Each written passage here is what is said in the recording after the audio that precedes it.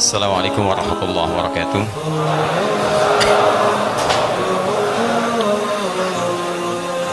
الحمد لله وكفى. والصلاة والسلام على رسول الله المصطفى وعلى آله وصحبه ومن وفى. أما بعد فيا عباد الله أوصي نفسي وإياكم بتقوى الله فقد فاز المتقون. فلا تموتن إلا وأنتم مسلمون. فقال تعالى يا أيها الذين آمنوا اتقوا الله حق تقاته ولا تموتن إلا وأنتم مسلمون. وقال يا أيها الناس اتقوا ربكم الذي خلقكم من نفس واحدة وخلق منها زوجها وبث منهما رجالا كثيرا ونساء واتقوا الله الذي تساءلون به والأرحام إن الله كان عليكم رقيبا. Saudara-saudariku dan pemirsa akhir TV di mana pun anda berada Alhamdulillah malam ini telah masuk pada penanggalan 19 Rabiul Awal 1439 Hijrah. Kita mendapatkan kesempatan yang sungguh terbaik dari Allah Subhanahu wa taala yaitu kesempatan untuk bisa terus meniti nilai-nilai ibadah kita menutupi kekurangan kita sehingga dengan bekal itu saat kita pada waktunya kembali kepada Allah insyaallah sudah semakin lebih baik dalam pandangan Allah Subhanahu wa taala dan sampai tadi kita sudah awali jumpa kita di maghrib ini dengan menunaikan salat maghrib berjamaah sunnah dari Al-Quran bahkan dari hadis-hadis Nabi sallallahu alaihi wasallam adalah kita mencoba berdoa kepada Allah Subhanahu wa taala dalam setiap amalan yang telah kita kerjakan. Semoga Allah Subhanahu wa taala berkenan menerima seluruh amalan kita sampai maghrib ini terkhusus amalan salat maghrib beserta amalan-amalan sunnahnya. Teman-teman sekalian, jumpa kita malam ini. Ini cukup spesial. Dan bahasan AKS Al-Quran Sunnah Solution pada malam ini juga menjadi istimewa karena tidak sekedar membahas tentang topik yang juga terkait dengan materi kita tapi lebih istimewa untuk malam ini dengan menghadirkan juga insya Allah tamu, sahabat dan saudara kita yang juga cukup istimewa. Sebetulnya ada satu kursi lagi. Cuman kami simpan di belakang karena nampaknya sampai malam ini orangnya tidak datang gitu ya. Jadi kami simpan di belakang. Sama beliau punya masalah dengan abu saya punya masalah dengan abu jadi abu-abu ya. Baik. Jadi setiap yang abu-abu itu tidak jelas. Karena itu kursinya kita taruh di belakang baik kita yang hitam putih saja ya baik. Kami putih antum hitam lah jelas jadi begitu. Baik sudah. Kita coba buka sedikit pelan-pelan. Kita ini teman-teman sekalian sedang dianugerahi oleh Allah subhanahu wa ta'ala di masa kini anugerah yang luar biasa. Itu tidak didapati barangkali dalam waktu yang singkat butuh tenunan waktu bahkan bertahun-tahun. Apa anugerah itu yaitu anugerah semangat yang dihadirkan pada kolbu-kolbu muslim Indonesia untuk mendekat kepada Allah subhanahu wa ta'ala dengan pendekatan yang lebih mulia. Apa pendekatan dengan lebih mulia itu? Inilah yang terbaik teman-teman sekalian. Ternyata pendekatan kepada Allah dengan ranah ibadah itu itu pesan dari nabinya akan lebih mulia jika itu dilengkapi diawali dengan bekal pengetahuan. Anda ingin sholat anda belajar bagaimana cara sholat yang baik anda ingin zakat anda belajar bagaimana cara zakat yang baik. Anda ingin haji anda belajar bagaimana cara haji yang baik. Dan tempat ketika Nabi mengajarkan pengetahuan itu itu adalah masjid. Masjid bukan hanya tempat untuk sholat tapi di situ ada tempat untuk ta'lim. Ada ahlus sufah ada tempat untuk berinfak ada tempat untuk berbagi dalam kebaikan ada tempat untuk bisa mengentaskan segala kegelisahan. Alhamdulillah saat-saat ini momentum yang paling membahagiakan saat ini Allah tanamkan dalam jiwa-jiwa muslim Indonesia kesenangan kebahagiaan untuk datang ke masjid merapatkan barisan di masjid untuk memenuhi majlis-majlis ta'lim kami kunjungi beberapa tempat di Indonesia. Masya Allah dari Jawanya sampai ke ujungnya sampai ke Sumateranya sampai ke Sulawesinya sampai ke Kalimantannya. Berita baiknya bagi kita ada cahaya-cahaya Islam mulai terpancar di masjid yang dengan itu kita kirimkan inspirasi pada dunia. Insya Allah Islam akan muncul warnanya dari Indonesia dan memberikan nilai-nilai kemuliaan bagi seluruh dunia insya Allah. Takbir. Ah, namun fitrah dalam kehidupan setiap ada kebaikan itu akan ada bersanding dengan lawannya yang tidak baik. Bukan untuk menghadirkan sebuah kesulitan bagi kita untuk menghadapi kebaikan bukan. Tapi hadirnya tantangan itu satu supaya Allah bisa menguji kita di mana kesungguhan kita untuk bisa menampilkan kebaikan itu sekaligus untuk memberikan pahala-pahala terbaik bagi kita semuanya. Karena itu saat Allah menciptakan jujur ada lawannya dusta supaya dengan dusta itu bukan berarti kita mesti berdusta bukan. Dengan dusta itu diciptakan untuk menguji apakah kejujuran kita konsisten atau tidak. Ketika kita jujur pahala diberikan. Ketika kita berusaha ada ikhtiar semakin lebih baik lagi.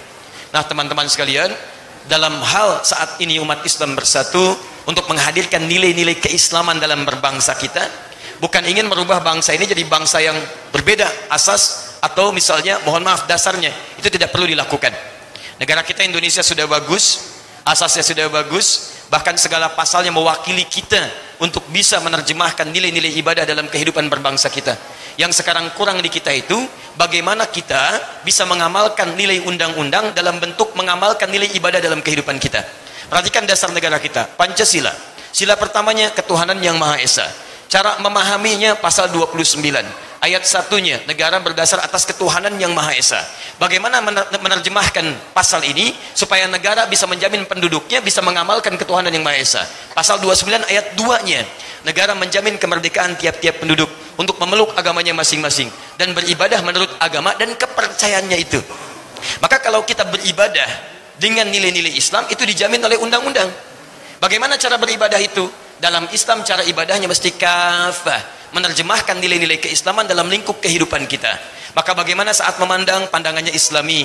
Lihat yang baik-baik yang jelek tinggalkan. Tapi terjemahnya yang bagus ya. Sendal baik ambil sendal jelek tinggalkan. Bukan bukan yang gitu ya yang menurut Allah baik kita ambil yang jelek tinggalkan. Lisannya baik tidak ada lisan dusta. Telinganya baik tidak mendengar yang buruk-buruk. Termasuk tangan sampai ujung kakinya maka dari itulah kalau umat Islam di Indonesia yang jumlahnya terbesar di dunia, semuanya menerapkan nilai Islam dalam kehidupan. Pengusaha tangannya baik, tidak ada maksiat dengan tangan. Maaf, maaf, maaf. Misal diplomat, birokrat, militer, kita rakyat dan sebagainya, semua dari ujung kepala sampai ujung kaki baik, maka demi Allah saya katakan akan tentam kehidupan di bumi Indonesia ini dalam nilai-nilai yang terbaik baik hubungan kita dengan orang sesama muslim ataupun juga muslim dengan non muslim insya Allah akan tercipta kebaikan-kebaikan. Tidak ada sejarahnya ketika orang Islam bisa memberikan warna dalam kehidupan dunia tidak ada sejarahnya ketidakcocokan dengan umat yang lain. Silahkan cek di mana pun Islam di Arab begitu muncul tantangan dihadapi masuk Islam di puncaknya ternyata yang di bawahnya bisa hidup dengan damai Islam dibawa ke Spanyol di Eropa. Begitu diterapkan nilai Islam yang muncul peradaban. Bisa hidup berdampingan. Islam dibawa ke Baghdad Babilonia muncul nilai Islam. Bisa hidup berdampingan. Islam dibawa ke Nusantara yang Hindu tenang yang Buddha tenang yang lain tenang. Jadi jika antum berislam sekarang, membuat tetangga-tetangga kita yang Nasrani tidak tenang, membuat yang Hindu tidak tenang, membuat yang Buddha tidak tenang dengan sikap kita, maka ada yang salah dengan keislaman kita. Ada nilai-nilai yang harus kita praktikkan. Hanya tantangannya, ketika sekarang orang semangat untuk bersatu menghadirkan nilai Islam, kita dihadapkan pada tantangan untuk menguji ketangguhan kita dalam menerapkan nilai keislaman itu. Di antara ujian itu teman-teman sekalian, kalau datang dari luar, barangkali akan lebih banyak kelihatan. Tapi ini datang dari dalam diri kita sendiri dalam tubuh umat Islam sendiri dah penyakitnya kadang tidak sadar kita pun melakukan itu. Apa di antaranya satu adab. Adab di dunia maya adab di dunia nyata ini yang jadi kelemahan kita sekarang. Banyak orang ke majlis ilmu belajar ilmu tapi sedikit yang belajar adab. Padahal ulama dulu bahkan ada yang menyebut teman-teman yang ikut kajian salaf dan sebagainya ingat ulama salaf itu dulu itu mendahulukan adab dibandingkan dengan ilmu. Bahkan ada yang belajar adabnya sampai 20 tahun ada yang 30 tahun belajar ilmunya 10 tahun. Adab didahulukan ketika adab dapat baru ilmu muncul Imam An-Nawawi kebanyakan orang mengkajinya Al-Arba'in 42 hadis. Riyadus Solihin 1896 hadis. Padahal yang beliau tulis pertama kali tentang adabnya dulu. At-Tibyan fi adab hamalatil Quran. Begitu menguasai adabnya Al-Arba'in akan cepat dikuasai. Riyadus Solihin akan gampang dipahami. Al-Majmu'nya akan gampang kita telan. Adabnya dulu Kiai Haji Muhammad Hashim bin Ash'ari menulis 19 kitab. Sebelum menulis Risalah Ahlus Sunnah Al-Jamaah, ya, An-Nurul Mubin fi Mahabbati Sayyidil Mursalin dan turunan yang lainnya. Yang ditulis pertama apa? Kitab adab dulu. Jadi ini kelemahan kita sekarang sehingga mohon maaf kita ingin menegakkan nilai Islam di dunia maya adabnya hilang. Adabnya hilang. Silahkan cek betapa banyak di antara kita saling mencela. Betapa banyak di antara kita saling menuduh. Betapa banyak di antara kita mohon maaf saling menyalahkan. Saling membuat hal yang tidak baik dalam kehidupan. Padahal antum tahu ketika mengerjakan itu, itu salah. Tapi kenapa bisa muncul? Ada sesuatu yang mesti kita kaji. Dan yang hebat teman-teman sekalian, dunia nyata pun tidak ingin ketinggalan. Hadir di lingkungan kita dalam nilai-nilai dunia nyata yang sekarang dihadapkan pada tantangan besar kepada kita. Inilah kemudian ada yang mengaku muslim hadir di sekitaran kita tapi tidak beradab bukan hanya dengan sesama makhluk tapi bahkan adabnya kepada Allah Subhanahu wa taala tidak ditemukan. Karena itulah malam ini kita coba akan kupas teman-teman sekalian wilayah-wilayah adab itu bagaimana kemudian kita bisa menyikapinya dan berita hebatnya alhamdulillah. Saya sangat bersyukur pada Allah Subhanahu wa taala.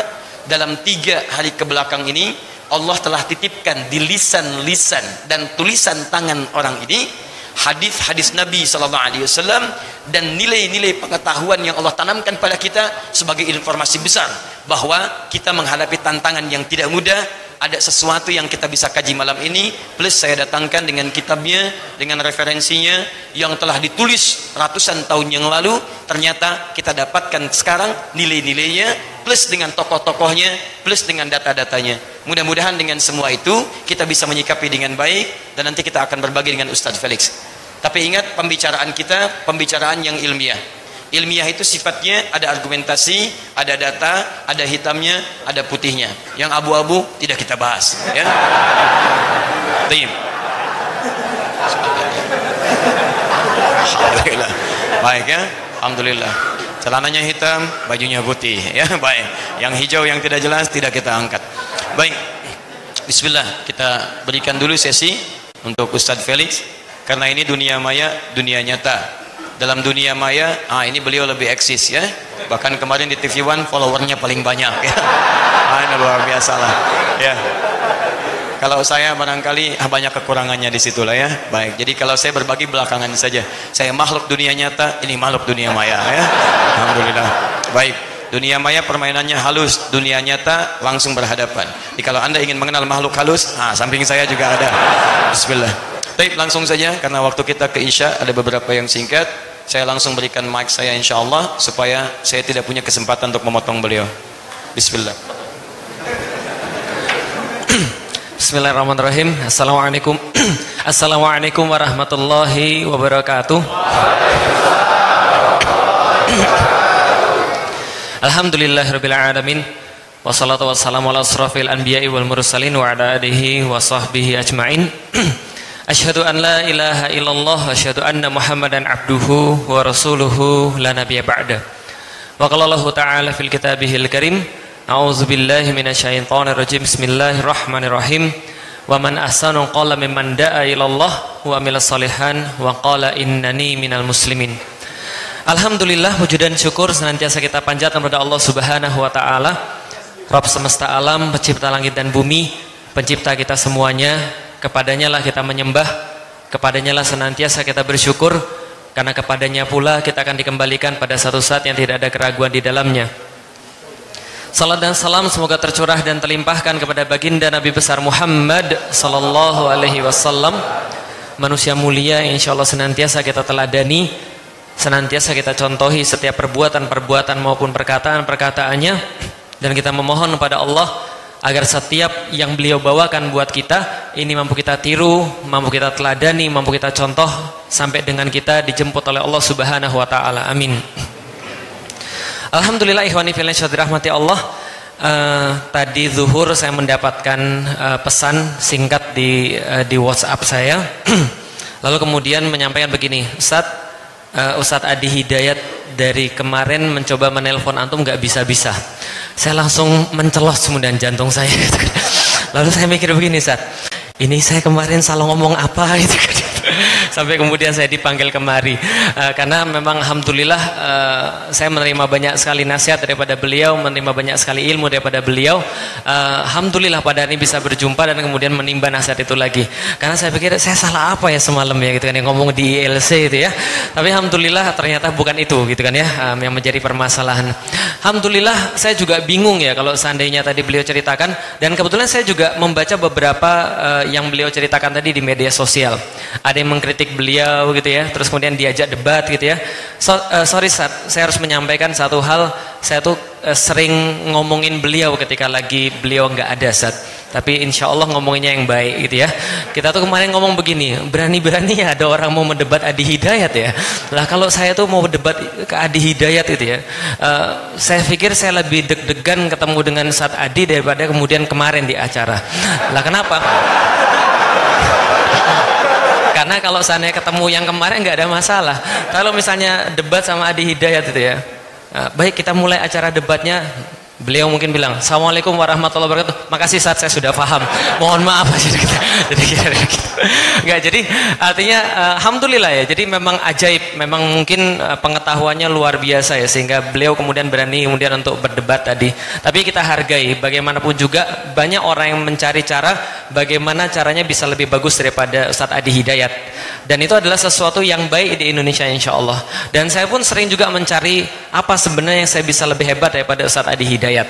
Kalau hafalannya eh, kita pikir tidak usah diragukan ya posisi dan sebagainya. Walaupun saya juga mengatakan loh emang saya nggak bisa? Saya juga bisa. Katanya kanan atas itu mikitarian ya. Tengah atas lukaku gitu ya jelas ya. Nah, tapi ternyata beliau juga tahu lebih banyak daripada saya soal bola gitu kan jadi saya juga mau nyerah. Akhirnya setelah saya cari-cari ada satu hal yang insya Allah saya lebih tahu daripada beliau dan beliau nggak mungkin lebih tahu daripada saya. Apa itu rasanya babi gimana gitu.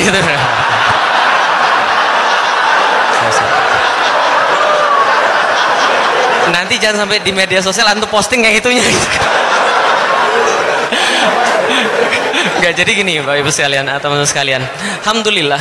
Jadi kita ini hidup di dalam dunia yang memang sekarang lebih banyak uh, dunia mayanya ya. Dan saya sudah nulis dalam buku saya judulnya The Art of Dakwah bahwa dalam buku The Art of Dakwah ini ada perubahan lanskap uh, dakwah yang sangat besar.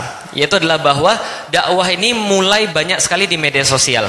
Dan itu mulainya ketika tahun 2007 ketika teman-teman lebih banyak punya handphone dan bahkan waktu itu pun uh, tukang becak pun punya handphone dan peningkatannya itu tinggi sekali jadi kalau bisa dibandingkan datanya pada tahun 2014 itu BPS mengeluarkan data bahwa tahun 2014 dan tahun 2015 prediksi mereka pengguna internet itu sudah 88 juta orang bisa difahami ya. Jadi 88 juta pengguna internet.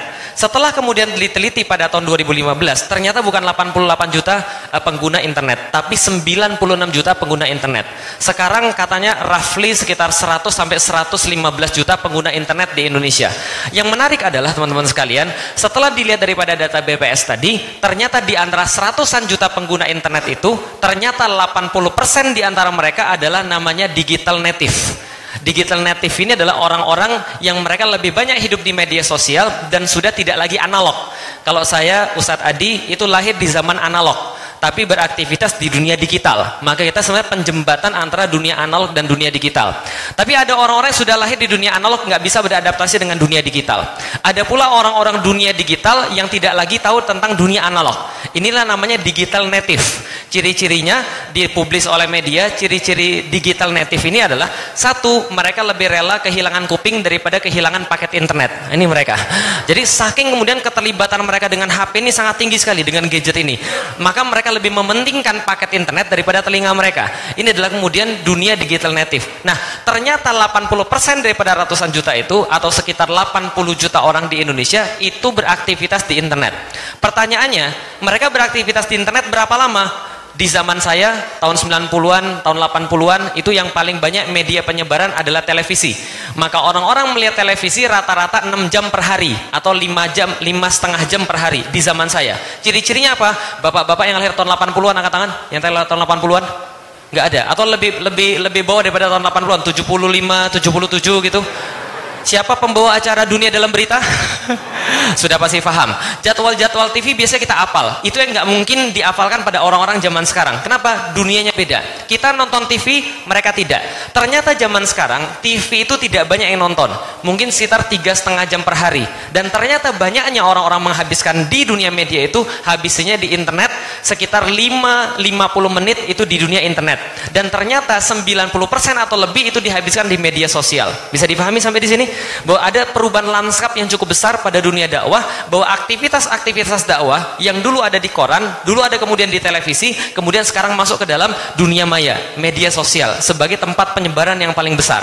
Maka siapa pun yang bisa eksis di dunia maya, maka dia memimpin apa yang terjadi di dunia nyata. Begitu Ustaz. Alhamdulillah gitu. Ini bukan apa-apa. Saya jadi grogi. Masyarakat nyata, masyarakat analog, prolog. Baik. Jadi, nah kita lanjutkan. Alhamdulillah. Jadi ini adalah kemudian perubahan lanskap yang cukup besar. Nah sehingga banyaklah kemudian perdebatan-perdebatan itu sekarang dunia media sosial teman-teman sekalian.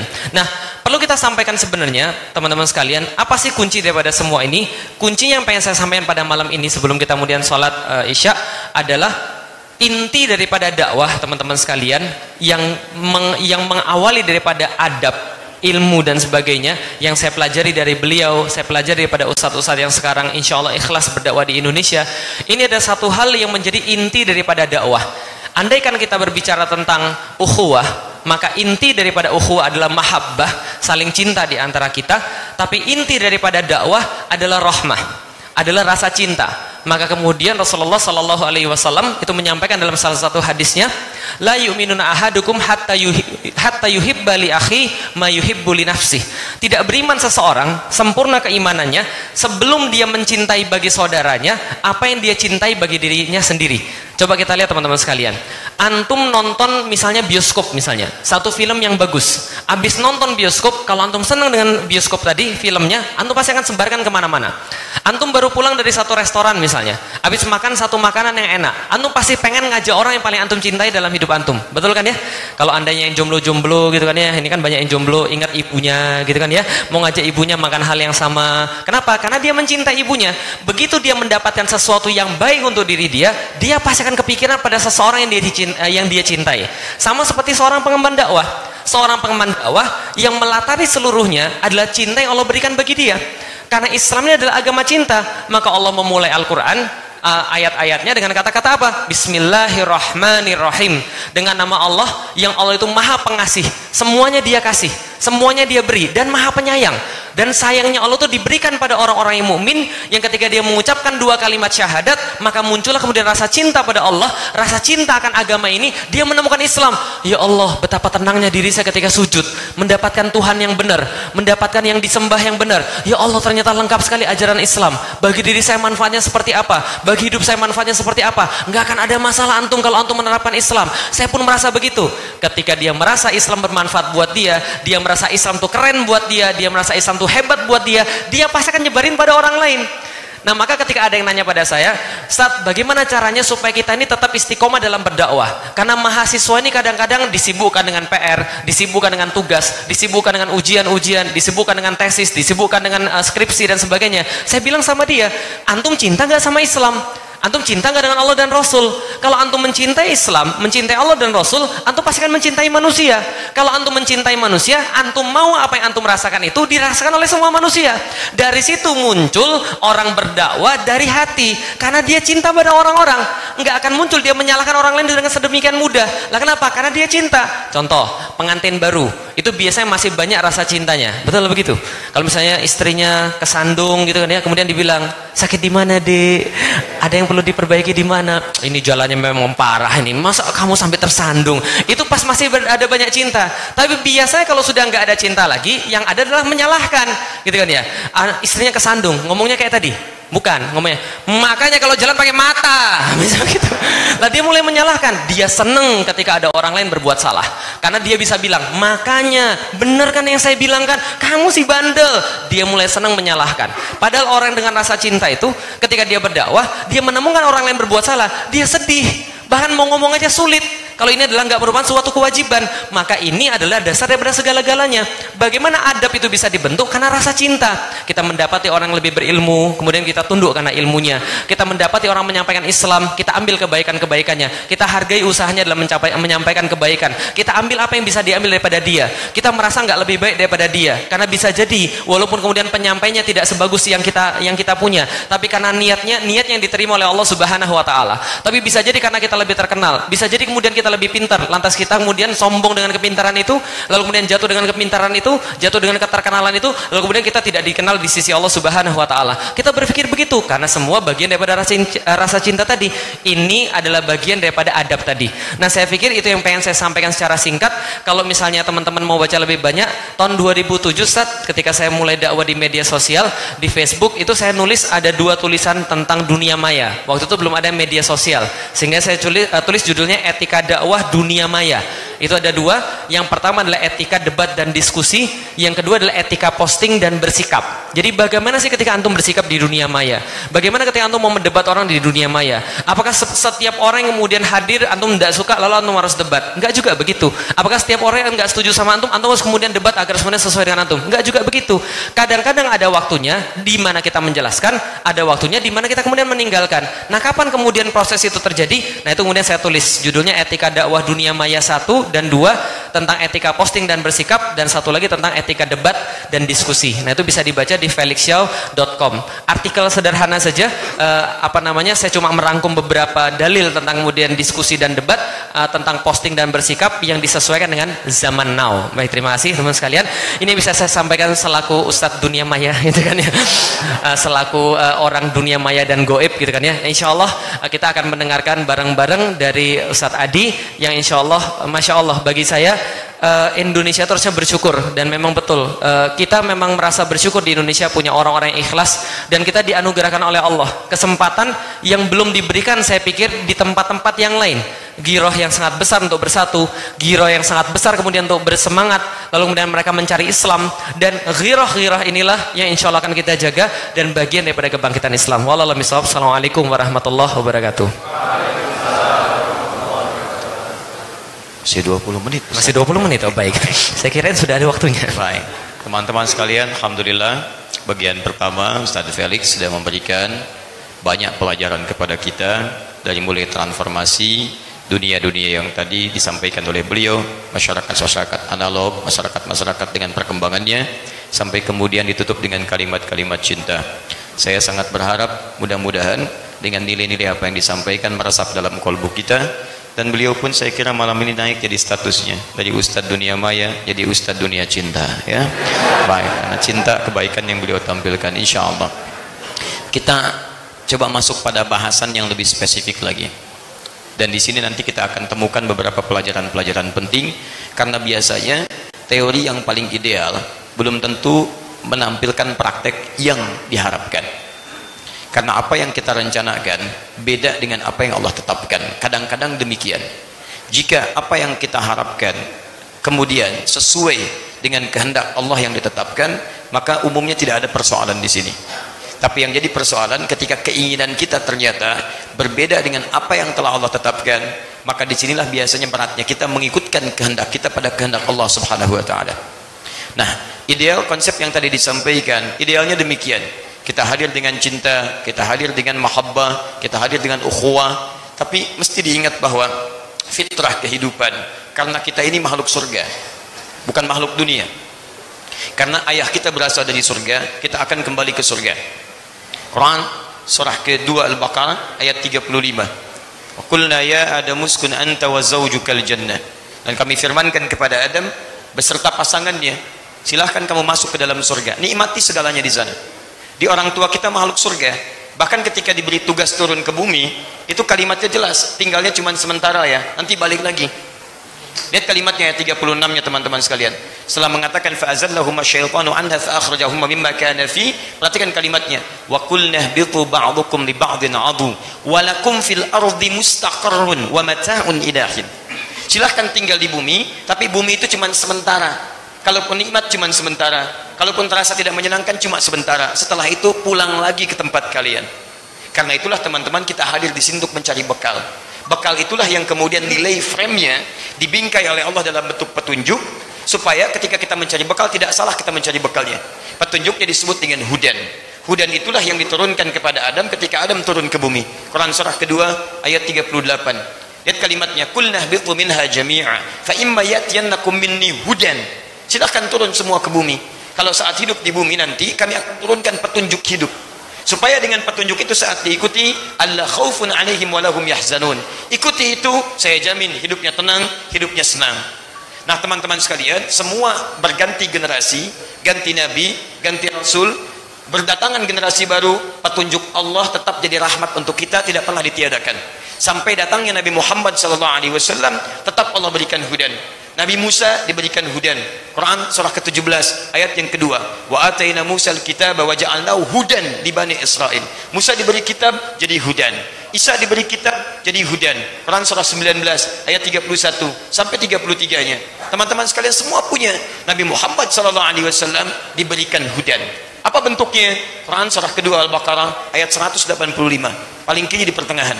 Syahrul Ramadan alladzi unzila fihi al-Quran hudan hudan linnas. Di era Nabi Muhammad SAW sampai berakhirnya kehidupan manusia maka hudannya berada dalam bentuk Al-Quran dalam Quran itulah dijelaskan prinsip kehidupan penjelasan Al-Quran di lisan Nabi Muhammad SAW penjelasan Al-Quran dan hadis Nabi tentang apa yang disampaikan Ustadz Felix tadi ternyata keterangannya luar biasa. Semua tantangan-tantangan kehidupan yang dilakukan dengan penuh cinta akan menghadapi lawannya sebagai ujian seriusan bagi kita sekaligus pemberian pahala. Kalau tidak ada lawannya tidak mungkin sifat mahabbah bisa muncul dalam kehidupan.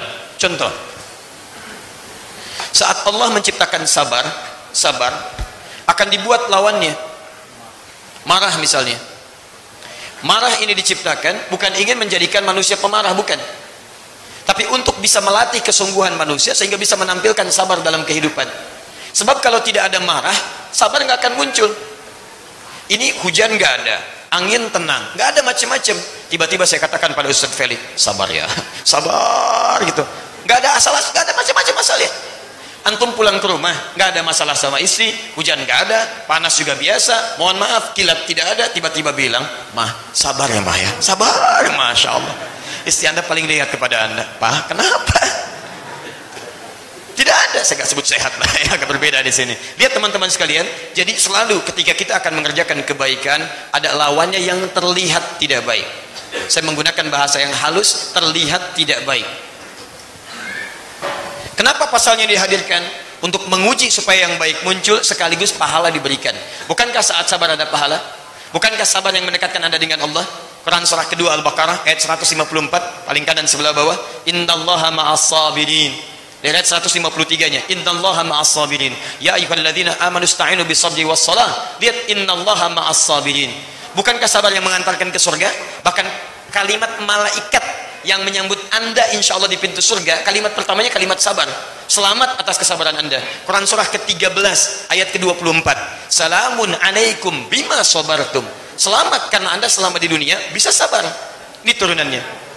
Nah sekarang persoalannya kita Alhamdulillah dihadapkan pada persatuan dihadapkan pada semangat dihadapkan kemudian pada keinginan untuk menanamkan nilai-nilai Islam dalam kehidupan. Madis-madis sekarang penuh. Masjid-masjid bagus. Dunia maya ada. Dunia nyata juga hidup. Persoalannya apa tantangan yang dihadapi? Ketika semua nilai kebaikan itu muncul. Ini yang coba kita keluarkan dan berita baiknya teman-teman, tantangan-tantangan itu Allah tunjukkan langsung di lisan dan tulisan tangan-tangan dan lisan-lisan orang-orang yang sekarang sedang hadir dan jadi pembicaraan dalam kehidupan kita. Saya akan bagi pada dua bagian. Satu bagian pertama ini dua-duanya abu. Satu abu dua abu. Ya sehingga saya katakan jadi abu-abu gitu kan? Tapi kita tidak perlu fokus kepada kalimat abunya. Yang paling penting bagi kita inti substansinya. Ingat saya tidak pernah mengajarkan anda untuk menggunjing orang dan mencela orang lain. Terutama nama. Anda kalau belajar dengan sek dan mencela orang lain saya bersaksi di depan Allah saya tidak pernah mengajarkan anda yang saya ajarkan adalah merubah perilaku. Kalau ada perilaku yang tidak baik itu yang kita rubah bukan mencela orangnya. Karena itu saya koreksi sedikitnya uh, Ustaz Felix saya tidak hobi berdebat. Saya tidak suka berdebat. Yang saya lakukan ketika ada sesuatu yang ingin saya pahami ya kalau saya tidak bisa kunjungi saya undang. Datang. Terkhusus pada persoalan yang nggak bisa dibincangkan tanpa ada pertemuan. Jadi ada masalah yang memang harus ketemu ada masalah yang tanpa ketemu pun selesai ini kadang-kadang ketika masalah yang harus diselesaikan dengan pertemuan dibincangkan pada sesuatu yang tidak ada wasilahnya ya misal masalah dunia nyata dibincangkan di dunia maya nggak akan nyambung. Dan bukan menghadirkan solusi yang menghadirkan masalah yang berkembang luas. Karena itulah teman-teman ketika biasanya ada persoalan-persoalan saya lebih senang berdiskusi. Kemudian kita undang. Dan kita tidak usah merasa malu. Kalau kita salah akui sampaikan bahwa kami salah yang benar yang seperti ini. Jika kita benar jangan menggurui dan tutup aibnya. Tidak usah diumbar keluar cukup sampaikan. Saya sering banyak bertemu termasuk di majlis ini. Termasuk sekian ada ustadz yang pernah menyoal datang ke sini. Dan ketika datang ustadz saya doakan antum. Masya Allah. Saya doakan antum dalam sujud antum. Alhamdulillah Ustaz saya pun doakan antum dalam sujud antum. Tuh lihat ketika bertemu kita nggak pernah dengar kalimat itu. Silakan antum cek dan indahnya adalah Ustaz saya ingin berikan masukan. Silakan Ustaz saya terima segala hal yang baik-baik. Begitu disampaikan saya dengarkan. Setelah didengarkan saya sampaikan Ustaz yang antum sampaikan itu informasi sebenarnya begini begini begini begini. Begitu menerima itu oh seperti itu. Kalau itu tidak apa-apa. Anda bayangkan ramai di dunia maya tapi di dunia nyata tidak seperti itu. Akhirnya yang terjadi apa? Kami makan nasi goreng sama-sama. Kami ngobrol dengan yang lain sama-sama. Yang paling aneh begini gurunya tenang-tenang saja kok muridnya pada ribut? Aneh itu tapi yang hebat sekarang adalah keributan itu ditampilkan dengan soal yang sederhana, tapi ternyata itu informasi yang sangat berharga. Makanya saya undang orangnya, saya ingin ucapkan terima kasih. Kenapa? Bahkan saya berani mengatakan, saya berikan hadiah umrah. Saya berikan hadiah umrah. Bahkan saya akan langsung ajak orangnya menghadap Dubai Saudi. Saya katakan orang ini telah berbuat baik kepada saya dengan izin Allah Subhanahu Wa Taala karena memberikan informasi tentang hadis Nabi yang saya pun tidak sedang memikirkannya. Tidak ada masalah ketika dia menyoal, kok beda ya beli kitabnya di tempat yang sama, kemudian jenisnya sama, tempatnya sama, keadaannya sama. Kok tidak ada ya di hadis Muslim? Masya Allah, itu kitab saya masih ingat belinya di mana, warnanya apa, tempatnya di mana, orangnya apa. Saya pakai baju apa pun saya masih ingat pada saat itu. Bajunya batik, warnanya hitam, rolengnya ada emasnya. Teman saya Sandi, saya pakai topi, warnanya topi kayak koboi, warnanya ung biru dongkar. Kita berangkat sama-sama. Keretanya saya masih ingat ke mana perginya. Belakang Husainiyat, orang yang belinya saya masih ingat. Posisi kitabnya sebelah pojok, rak yang kedua ada di atas, pojoknya paling kiri. Masih ingat betul saya harganya kalau dikonversi 450 ribu. Cetakannya dari darul hadis. Ada sebuah halamannya. Ada sebuahnya. Kita tunjukkan. Tapi yang paling menarik bukan itu poinnya. Yang paling menarik orang berdebat masalah nomornya. Yang itu pun sebetulnya saya ingin dengar. Anda baca nomor hadis itu seperti apa? Jangan-jangan anda menyoal nomor hadis anda tidak pernah tahu bagaimana cara merumuskan nomor hadis. Silakan cek yang paling indah ketika menulis ini. Ustaz Adi salah memberikan statement. Hadis tentang sholat tahiyatul masjid di hadis muslim. Nomor hadis 259 begitu saya buka hadis tentang larangan. Teman-teman sekalian maaf mencukur jenggot dan anjuran untuk memotong kumis. Tuh anda bayangkan.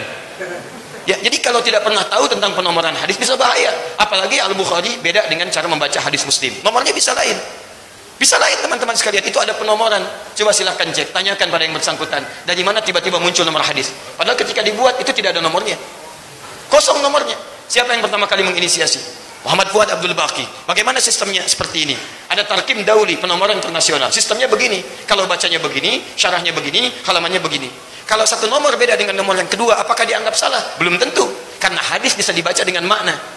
Pernah dengar hadis ini? Idza matal abdu, idza mata ibnu Adam, in qata sairu amali. Pernah dengar? Idza mata ibnu Adam, jika meninggal seorang anak cucu Adam, maka terputus semua amalnya kecuali tiga hal. Pernah dengar? Silakan cari di hadis Muslim, gak akan ditemukan lafaz ibnu Adam. Yang ada idza matal abdu atau idza matal insan. Insan sembilan lafaz di hadis Muslim. Tapi apakah salah disebutkan dengan idza matal abdu? Banyak yang menyebutkan.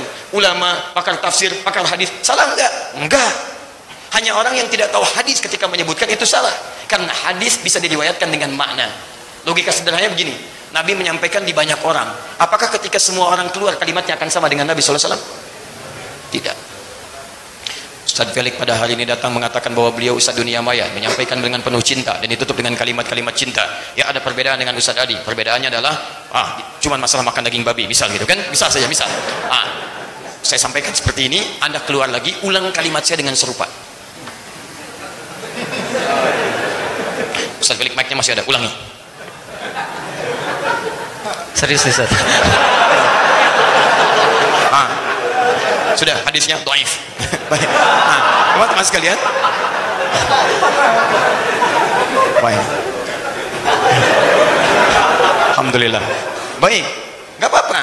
Gak apa-apa, itu lebih baik daripada menyampaikan salah. Tapi ketika menyampaikan sesuatu dengan kalimat berbeda substansi sama, itulah bedanya hadis dengan Al-Quran. Kalau Al-Quran dijamin oleh Allah, lafad dan maknanya tidak akan berubah. Makanya dari zaman old sampai zaman now, itu sama semua. Gak ada beda. Jaminan Jaminannya ada Quran surah 15 ayat 9. Inna nahnu nazzalna dzikra wa inna lahu lahafizun. Kami yang turunkan Al-Qur'an sebagai zikir peringatan bagi manusia, kami yang jaga. Allah yang jaga. Antum gak usah repot-repot jagain, Allah yang jaga. Sampai kiamat terjadi, sampai kembali pada Allah akan sama dari awal sampai akhirnya. Tapi hadis tidak ada jaminan menjaga lafadznya. Yang ada keterangan bahwa itu semua bersumber dari wahyu yang Allah sampaikan pada Nabi. Quran surah ke-68. Lihat teman-teman, ketika Allah firmankan kepada Nabi SAW, dari ayat lima, uh, surah 53-nya dulu. Apa surah 53? Wan najmi idha hawa ma dhalla sahibukum wa ma wa ma 'anil hawa in illa wahyu. Quran surah 53-nya dulu dari ayat 3 sampai 4-nya. Lihat baik-baik kalimatnya. Hadis yang disampaikan oleh Nabi kata Allah Subhanahu wa taala itu substansinya wahyu yang diturunkan oleh Allah kepada beliau. Cuman lafadznya tidak dijaga untuk membedakan Al-Quran dengan hadis. Bayangkan kalau Al-Quran, maaf, dan hadis pun, hadis, hadis teman-teman sekalian, itu pun lafadznya harus persis sama. Berapa banyak kitab yang harus dikumpulkan? Yang harus antum hafalkan. Yang dibawa ke mana-mana. Musab yang sekarang saja tebalnya sudah luar biasa. Dan itu dimudahkan. Bagaimana dengan hadis yang dikumpulkan sekian jilid yang antum harus hafalkan? Karena itulah atas berkat rahmat Allah yang Maha Kuasa dan dengan didorongkan oleh keinginan luhur dari kita semua, ketika kita berinteraksi dengan hadis, kita tidak harus menghafalkan lafadznya, tapi bisa diriwayatkan dengan maknanya. Karena itu hadis basmalah ada 70 hadis, hadis tentang makan ada 10 hadis, hadis tentang isbal bahkan ada yang menghitung sampai 143 hadis. Apa intinya? Kalimat yang sama dengan lafadz yang berbeda-beda karena yang meriwayatkan belum tentu orang yang sama. Paham sampai sini? Ah, yang paling menarik halaman 111 di kitab saya ya kalau kitab uh, yang disebutkan saya kurang tahu. Karena nggak pernah nunjukin kitabnya itu masalahnya. Ya. nah, ini kitabnya. Ya ini saya sering katakan. Makanya ketika saya menerangkan hadis saya sering terangkan itu kitabnya bukan saya ingin menyampaikan saya hafal. Bukan. Maksud saya kalau orang ingin mencari itu bisa mencari yang sama dan dilihat kalau saya keliru ingatkan kalau benar berarti kita punya kitab yang sama. Cetakan Darul Hadis tahun 2005 warnanya biru dongker. Ya kan? Saya sebutkan buka halaman 111 paling kiri sebelah atas. Ustaz Felix bisa dicek misalnya yang ini jilid pertama. Ya. Halaman 111 posisi paling kiri sebelah atas bab yang keempat hadis nomor 6 itu yang pernah saya sebutkan. Tafsir nomor 6 ada di nomor 7 keterangannya di bab yang selanjutnya. Nggak usah capek-capek Ustaz. Sudah saya tandain di sini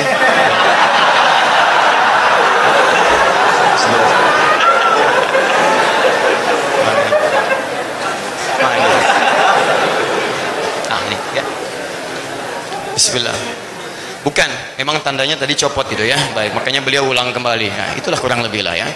Baik, teman-teman sekalian, perhatikan. Babun nahyi an akhdhi riwayati. Ada Ustaz babnya sebelah kiri, Masya Allah. Bab larangan untuk mengambil informasi. Riwayat. Awas. Informasi, riwayat, apalagi ajaran-ajaran agama. Awas hati-hati. Anid du'afa dari orang-orang yang dianggap lemah riwayatnya Perhatikan baik-baik, saya langsung kepada ujung hadisnya saja. Itu yang berbicara tentang dahsyat sekali. Perhatikan ya, ini yang paling penting. Sayati fi akhir zamani, riwayat lain fi akhir ummati. Yang pertama di hadis nomor 6 yang mengatakan unasun. Siapa unas di situ? Nomor tujuhnya dajjaluna kadzabun. Akan datang di masa-masa akhir umatku para dajjal dajjal pendusta. Saya sering katakan pada Anda, kalau kalimat dajjal tanpa menggunakan masih berarti itu sifatnya kalau menggunakan masih berarti makhluknya. Masih dajjal itu masuk makhluknya. Yang menyerupai keadaan Nabi Isa alaihissalam tapi kalau dajjal saja itu di antara sifatnya. Apa di antara sifat dajjal? Dusta. Tapi dustanya bukan urusan dunia. Awas hati-hati. Bukan masalah dagang berdusta. Kalau cuma dagang berdusta zaman jahiliyah sudah ada. Dan Nabi menyebutkannya bukan pada saat masa Nabi tapi masa nanti setelah kehidupan Nabi SAW jadi kalau cuma dusta dalam urusan dunia, dusta maaf ya, mengurangi timbangan, tidak jujur dalam usaha, itu orang jahiliyah sudah ada. Sudah ada. Makanya ketika ada pengusaha tidak jujur sekarang, dia telat. Dia sudah keduluan sama orang jahiliyah. Dia terlambat dan jangan bersaing sama orang jahiliyah, akan kalah. Pemabuk sekarang, mabuknya telat. Kalau ketemu orang mabuk sampaikan, "Mas, Mas telat." Keduluan sama orang jahiliyah dan jangan bersaing, gak akan menang. Gak akan menang kalau ada yang punya kedudukan sombong, katakan Anda telat sudah keduluan sama Firaun, sama Abu Jahal, Abu Lahab dan Abu-abu yang lainnya. Abu tuh begitu selalu punya masalah.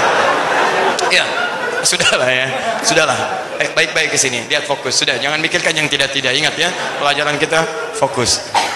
Sudah. Ya. Baik. Ah, siapa Dajjal ini ini hal yang paling penting saya langsung lihat bacakan kitabnya khawatirnya nanti tidak dipercaya lagi ya. Nah sekarang perhatikan baik-baik. Bismillahirrahmanirrahim. Teman-teman sekalian lihat baik-baik. Qala Abdullah ini syarahnya. Inna syaitana la yatamathalu fi suratir rajul. Fayatil qawma fayuhaddithuhum bil hadithi minal kadhib fayatafarraqun Siapa Dajjal yang disebut oleh Nabi ini? Maksud sifat-sifat pendusta seperti Dajjal itu adalah kemunculan orang-orang yang tidak jelas. Datang di tengah masyarakat, membuat isu-isu di masyarakat sehingga terpecah masyarakat pada saat itu. Perhatikan, saat orang rame-rame menyoal beberapa hal, saya diberikan anugerah oleh Allah Subhanahu wa taala, terlihatnya seperti tidak menyenangkan, tapi sebetulnya itu informasi dari Allah Subhanahu wa taala. Akan muncul orang-orang yang gak jelas ini siapa sebetulnya. Di dunia maya gak kelihatan dilacak gak ketemu. Cari-cari gak ada. Tiba-tiba muncul aja. Dan paling anehnya begini perhatikan baik-baik ya setiap kita berusaha untuk bersatu menghadirkan nilai Islam dalam kebaikan terlepas dari perbedaan yang ada yang bisa didiskusikan. Diambil satu poin yang sama nilai kebaikannya. Setiap kita ingin mewujudkan nilai kebaikan selalu muncul tuh yang seperti itu. Dulu kita arahkan ayo kita sama-sama tingkatkan keislaman tampakkan nilai keislaman. Tiba-tiba jreng ah potongan video muncul. Terus satu tugas itu begitu sudah muncul oh yang lain nyerang. Satu dua tiga empat lima enam muncul. Tut. muncul istilah tahdir tahdir ditulis buku manhat tahdir kelas eksekutif. Itu masih agak lumayan kelas eksekutif terhormat. Ya punya pengetahuan punya macam-macam. Yang sekarang agak repot naik kelas juga enggak. Yang dulu kelas eksekutif yang sekarang naik kelas juga enggak. Makanya saya bikin bukunya agak agak repot kalau seperti itu. Tapi poinnya sama. Begitu video ini dicari hilang yang berbahaya adalah ketika yang menyoal itu menggunakan dalil-dalil itu yang di masalah. Saya urutkan ini siapa sebetulnya? Tapi yang paling menarik jawabannya ada pada hadis Nabi Wasallam. Saya menerangkan tentang sesuatu itu kan momennya tentang persatuan. Saya ajak ayo bersatu belajar ke ustadz ini belajar ke ustadz ini belajar ke ustadz ini. Mendekati momen persatuan apa yang terjadi tiba-tiba jreng muncul video baru. Selalu begitu. Dan yang dipotong itu yang paling aneh. Motong video bisa dipotong. Orang motong kue dia motong video Hidayat mengkafirkan orang menyebut maulid. Maulid demi Allah saya katakan wah itu dusta luar biasa. Berdusta atas nama agama. Antum yang lihat video seutuhnya antum tidak akan pernah menyimpulkan seperti itu. Paling aneh begini yang paling aneh. Orang yang hadir di majlis ilmu seluruhnya yang datang yang menyimak dari awal tidak ada persoalan. Mau bel bunyi mau tidak tidak ada persoalan yang paling aneh tidak pernah datang ke kajian tidak melihat video secara utuh tiba-tiba motong video disebarkan dan menyebarkan isu. Anda tahu apa yang terjadi? Hadis ini benar.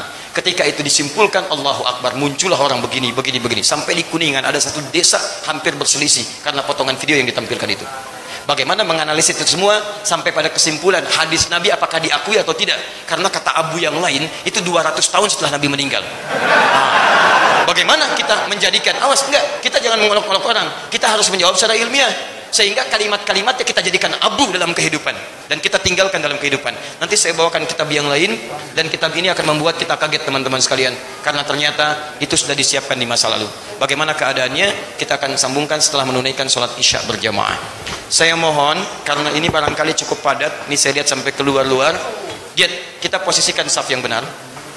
Kita tunaikan sholat dengan baik. Kalau tidak memungkinkan kita buat dua bagian insya Allah isyanya. Ya sepakat sampai sini? Jazakumullah khair. Tolong yang di luar bisa menyesuaikan ya. Teman-teman dibantu yang ada sajadah dikeluarkan saja ya supaya bisa dibantu teman yang lainnya. Saling menolong dalam kebaikan. Assalamualaikum warahmatullahi wabarakatuh. Kita telah menunaikan salat isya berjamaah. Alhamdulillah malam ini kita semangat untuk beribadah pada Allah Subhanahu wa taala. Maka kita pun semangat bermohon pada Allah. Semoga salat kita diterima oleh Allah Subhanahu wa taala. Dan taklim kita malam ini juga diridhai oleh Allah Subhanahu wa taala diinformasikan bahwa majlis kami dan masjid kami di sini Al Ihsan kami coba untuk bisa menghadirkan nuansa keilmuan dengan izin Allah Subhanahu wa taala dan dengan warna yang tidak ada masalah. Sepanjang frame-nya ada dari Al-Qur'an dari sunnah kita coba tampilkan. Dari golongan-golongan mana pun misalnya mau berdiskusi kita coba sampaikan jadi kalau misalnya kemarin ada ustadz ini, kemarin ada dari Kanada, ada dari Maroko, ada dari yang lain, sepanjang ada frame Al-Quran dan Sunnah, kita coba ambil. Kalau dari situ ada sepakat, kita amalkan. Kalau tidak sepakat, dengar sebagai pendapat. Mendengar itu kadang lebih penting dibandingkan kita mencela orang tanpa mendengar hujahnya. Jadi biasakan kita biasa mendengar, karena Allah titipkan dua telinga kepada kita dan satu mulut supaya telinga ini bisa lebih banyak mendengar, bisa lebih mencerna dengan baik sehingga lisan punya pertimbangan ketika akan menyampaikan apa pun. Nah, ini kadang-kadang adab dalam kehidupan ini sulit dicerna bagi sementara orang. Lisannya lebih duluan keluar dibandingkan dengan pencernaannya. Kita akan teruskan masih bersama kita semua dan dengan Ustadz Felix juga, Ustadz Dunia Mata, Ustadz Dunia Maya, ya kan? Ustadz Nyata, Ustadz Halus ya. Baik. Kita kembalikan teman-teman sekalian pada konsep kita tadi Ya, ya, baik. Ah, Alhamdulillah, berarti materi ini penting. Begitu penting dari sana, ya, gitu ya. Nah, itu kode namanya. Baik, teman-teman, kita kembalikan bahwa saat kita ingin menjadi baik, terlebih menerapkan nilai Islam dalam kebaikan itu. Jadi saya pernah sampaikan baik itu di Quran dibagi lima bagian. Ada tayyib Quran surah 2 ayat 168, ada khair Quran surah ketiga ayat 110, ada ma'ruf Quran surah ketiga ayat 104 ada ihsan misalnya diambil di Quran misal surah ke-17 ayat 23 Quran, su, Quran uh, surah ke-46 ayat ke-15 ada juga salih gabungan dari keempatnya Quran surah ke-7 ayat 189 nah ada kebaikan yang belum tentu diisi dengan nilai Islam. Belum tentu itu di, kita menemukan non muslim baik ada non muslim berbagi ya kan non muslim bisa mengajak pada hal-hal yang baik secara norma-norma kemanusiaan ada tapi ketika nilai itu ingin disebut sebagai baik menurut Allah, maka berubah kalimatnya jadi ihsan namanya. Ihsan. Anta'budallaha ka'annaka tarahu fa illam takun tarahu fa innahu yarak. Itu ada di hadis Muslim nomor hadis yang ke-8, di Al-Arba'in nomor hadis yang kedua. Nah, itulah sifat yang dituntut dari kita. Jadi kalau ingin berbuat baik dalam kehidupan, maka jangan cuma baik, nanggung. Kalau cuma baik, non muslim juga bisa baik. Nilai kebaikan itu mesti diisi dengan nilai ibadah, nilai-nilai keislaman kita. Jadi kalau Anda jadi pegawai, jadi pegawai muslim yang baik. Tampilkan nilai Islam dalam kepegawaian Anda. Anda boleh silakan jadi dosen, dosen yang baik. Tapi ingat ketika Anda ingin menampilkan nilai Islam dalam kebaikan itu, maka fitrahnya Anda akan menghadapi ujian-ujian kehidupan. Salah satunya adalah di masa-masa yang akan datang kata Nabi. Nabi bicara 15 abad lalu. Menunjukkan di akhir-akhir masa umatku kata Nabi sallallahu alaihi wasallam di antara tantangannya akan muncul. Ini tadi kita sebutkan orang-orang pendusta yang tidak dikenal wujudnya. Sulit. Tiba-tiba muncul, muncul, muncul. Dia masuk kepada satu komunitas. Kemudian tiba-tiba komunitas itu saling berselisih, saling terpecah belah dan sebagainya. Alhamdulillah, belakangan ini hadis itu diingatkan kembali kepada kita semua dan kita mengucap syukur pada Allah Subhanahu wa taala untuk berhati-hati. Apa gambarannya? Saya teliti sedikit demi sedikit. Setiap kita ingin menanamkan nilai keislaman dengan baik, selalu muncul anonim-anonim di dunia maya. Nyerang habis. Satu, dua, tiga, empat. Dua tiga hari ke belakang, saya sebetulnya tidak pernah mengomentari yang demikian. Tapi saya coba masuk ke dalamnya, hanya ingin tahu saja. Begitu kita masuk ke dalamnya, keluarlah kemudian akun-akun itu. Alhamdulillah, saya katakan syukur padamu ya Allah. Begitu kita masuk, ternyata muncul nama-nama akunnya. Ini daerah-daerah ini, ini begini, ini begini, ini begini. Ini namanya. Ini anugerah terbesar dari Allah subhanahu wa ta'ala. Kenapa? Karena ketika anda menemukan akun-akun demikian, dan tokoh-tokoh munculnya, itulah yang ditampakkan oleh Allah subhanahu wa ta'ala hadisnya muncul di tulisan tangannya, kalimatnya muncul di lisannya, dan muncul pula nama-nama yang adanya. Tapi saya tidak berkepentingan untuk menyebarkan nama-nama dimaksud, tapi hanya memberikan gambaran. Jika Anda menemukan akun di dunia maya seperti itu, tiba-tiba ketika ingin bersatu nyerang umat, nyerang begini dan sebagainya, maka itulah yang dimaksud oleh hadis Nabi Sallallahu Alaihi Wasallam. Itu bukan dimaksud golongan-golongan sesuai dengan Al-Quran, Sunnah bukan. Bukan yang disebut dengan macam-macam, misal Salafi bukan. Karena Salafi tidak seperti itu. Salafi tidak seperti itu. Mustahil Salafi ingin kemudian menghancurkan nilai keislamannya sendiri. Mustahil Salafi memecah belah umat, bukan. Sejak mulai dakwah salaf muncul kemudian bahkan sampai di Indonesia misalnya. Salaf itu bukan kelompok, bukan golongan. Nilai-nilai keislaman yang ingin mengembalikan pada tuntunan Al-Quran, sunnah, nilai-nilai kebaikan. Sepanjang ukurannya Al-Quran, sunnah, pernyataan para ulama, dia salaf. Dalam golongan saleh. Tapi yang seperti ini bukan. Disebut Wahabi juga bukan. Saya tinggal di negeri Wahabi, saya tinggal di Mekah, kami tinggal di Mahbasjid, ketemu dengan syekh-syekh yang lain, kita belajar pada syekh misalnya Afifi yang pernah ada di Madinah, kita belajar pada syekh Sultan, kita belajar pada syekh Faiz, kita mengambil tafsir dari syekh Faiz, gak ada masalah, biasa saja. Ini sebetulnya siapa? Nggak jelas ini. Wahabi bukan, Salafi bukan dan sebagainya. Dan paling bahaya ketika itu muncul memberikan kemudian aib pada guru-gurunya yang lain. Jadi yang tidak berkaitan dengan dia pun dibawa-bawa juga. Apa salahnya Ustadz ini sampai digunjingkan? Yang salah itu tiba-tiba yang digunjingkan yang lainnya. Nah ini teman-teman sekalian ini yang sangat berbahaya. Kalau Anda menemukan akun-akun seperti itu, jangan buang-buang energi, cukup tinggalkan saja. Kaidahnya ada di Quran surah keempat ayat 140, paling kiri sebelah bawah. Wa qad nazzala 'alaikum fil kitab. Kalau Anda baca ayat ini, kalimatnya tegas dan telah tetap ketentuan dalam Al-Qur'an. An idza sami'tum ayatillah yukfaru biha wa yustahza'u biha. Jika ayat-ayat Allah jadi mainan bagi sementara orang atau bahkan diingkari, datang membawa ayat-ayat Allah. Kayaknya seperti orang benar. Ngajarnya ajak seperti pada kebenaran tapi antum tanpa sadar sedang dipecah belah dalam keburukan di situ. Kata Quran kalau ada yang seperti itu main-main dengan ayat main-main dengan dalil maka kalimatnya adalah fala taqudu mahum jangan sertai mereka. Antum jangan mencela perbuatan tercela karena sudah tercela. Mencela perbuatan tercela buang-buang waktu. Buang-buang waktu. Sama seperti antum ingin menepuk abu. Ah nggak ada. Nggak akan kena karena sudah jadi abu Ya, abu mengambang, abu diam itu ada. Nanti abu mengambang di akhirat. Ada. Itu ada di Quran surah ke-25 ayat 23. Wa qadimna ila ma amilu min amalin faja'alnahu haba'an manthura. Kalau ada orang berbuat baik tapi tanpa iman di dunia, di akhirat kami jadikan abu-abu yang berterbangan. Ya. Di, di dunia abunya nggak bisa terbang. Di akhirat terbang nanti. Wah, kita lihat itu. Tapi nggak ada nilainya. Tapi tidak ada nilainya. Nah, jadi kalau Anda menemukan yang seperti itu nasihat saya, ya jalin hubungan baik dengan siapa pun Ya tidak usah antum melihat ada kebaikannya ukuran, ukurannya Al-Quran, ukuran sunnah, diskusikan. Sepakat, ambil. Tidak sepakat, tinggalkan. Tapi jangan dicela. Dari mana pun itu. Saya sering katakan pada antum, ambil. Kalau ada ustadz ini, ambil ilmunya. Ustadz ini, ambil ilmunya. Tidak sepakat, tinggalkan. Ada yang baik dari ustadz Felix, ambil. Yang tidak baik, tinggalkan. Yang baik banyak. Ada cinta tadi, gitu kan? Ada dakwah tadi, ada kebaikan. Yang tidak baik, beliau pun sudah tinggalkan. Masa antum mau ambil? Babi tadi, beliau sudah tinggalkan. Masa antum mau ambil? Ya, sudah. Yang tidak baik, tinggalkan. Selesai. Pemikiran tidak sama, tinggalkan. Tapi tidak harus menjadikan perbedaan, membuat kita tidak bisa berteman dan tidak bisa minum teh bersama. Duduk aja, minum sama-sama, sampaikan kebaikan, enak, nyaman. Dan kadang-kadang ketika ketemu sesuatu yang kurang pada kita, kita akui. Kurang pada orang lain, jangan diumbar. Tutup aibnya, cukup sampaikan kebaikan-kebaikan. Apa antum kira orang-orang datang ke sini kemudian misalnya berdiskusi dalam kebaikan dan sebagainya, pulang dari sini punya keadaan yang tidak biasa? Tidak. Kita biasa saja.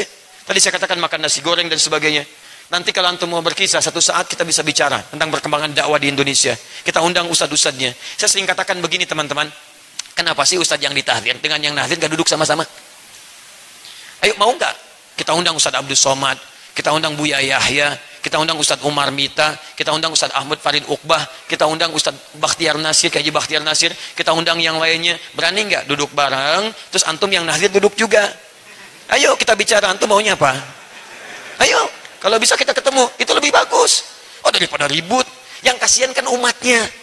Umatnya nggak ngerti. Kok kenapa sih pada begini, Ustadz begini, Ustadz begitu. Jadi bingung, orang mau belajar jadi bingung. Yang lebih hebat lagi ditertawakan oleh orang lain. Tuh lihat orang Islam. Siapa perannya? Yang tadi, Dajjaluna kadzabun. Orang ini yang punya peran. Paham ya?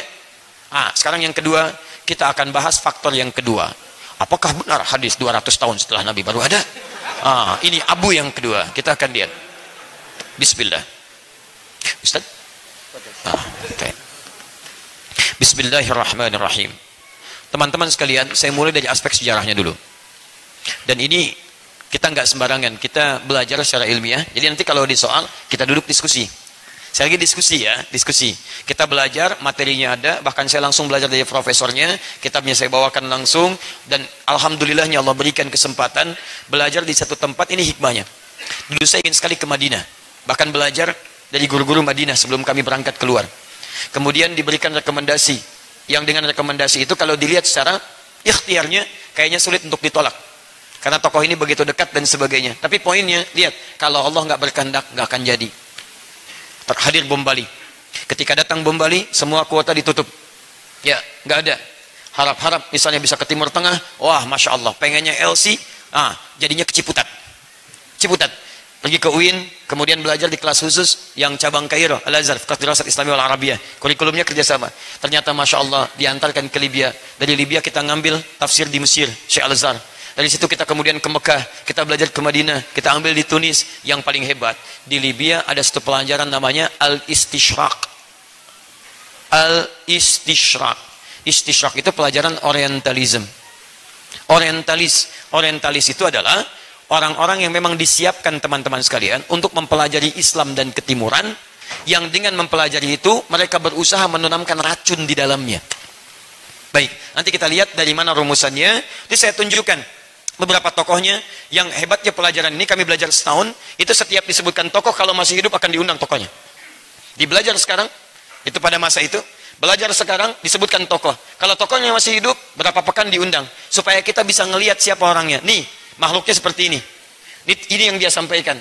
Dan nanti saya akan sampaikan pada anda informasi yang sangat dahsyat. Kadang-kadang apa yang dituliskan tidak sama dengan apa yang diucapkan. Bisa kelihatan. Nah, 1492. Setelah kemudian umat Islam, maaf, terpecah belah. Karena urusan dunia. Kursi, kursi, kursi, kedudukan, kedudukan, materi dan sebagainya.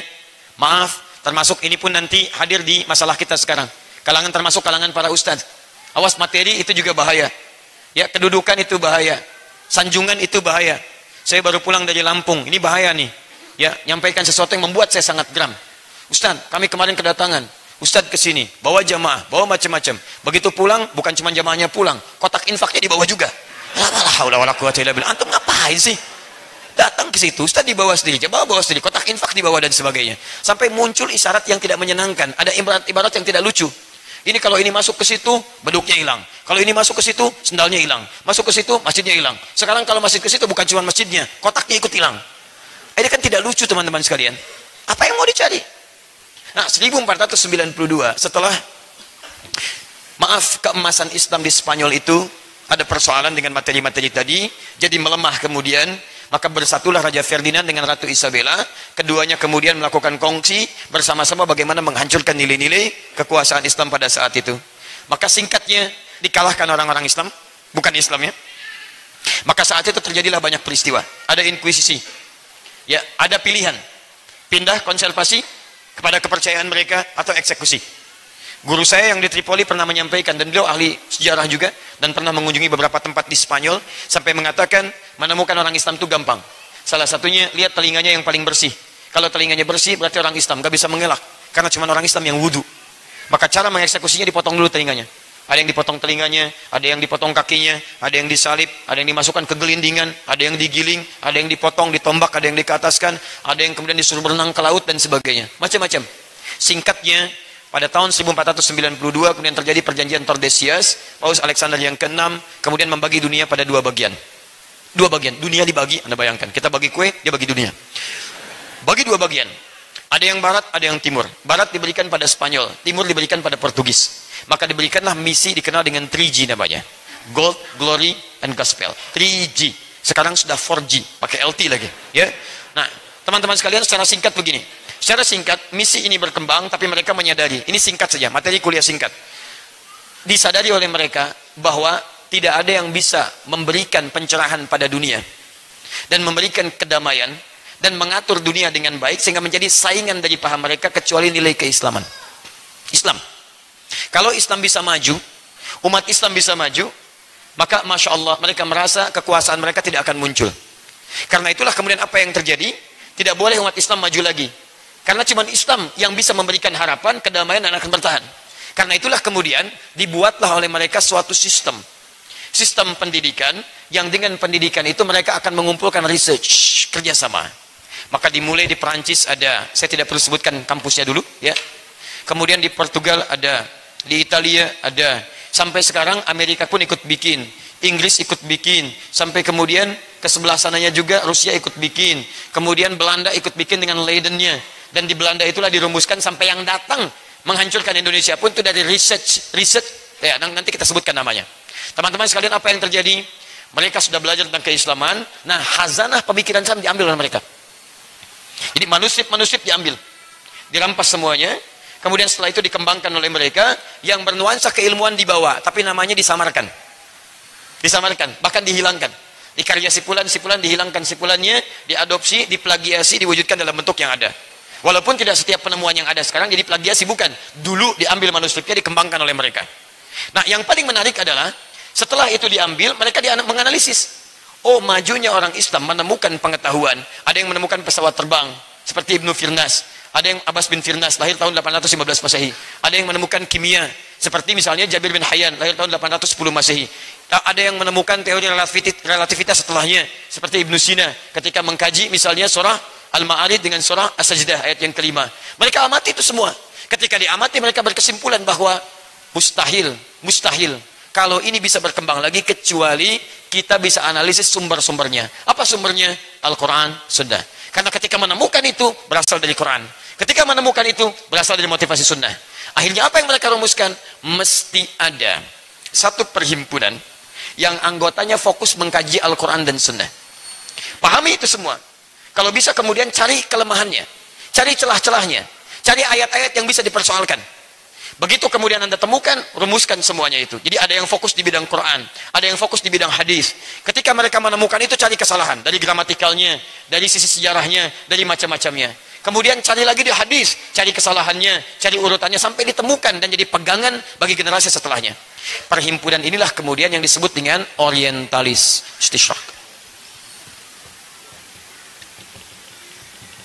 Kajiannya disebut dengan orientalism.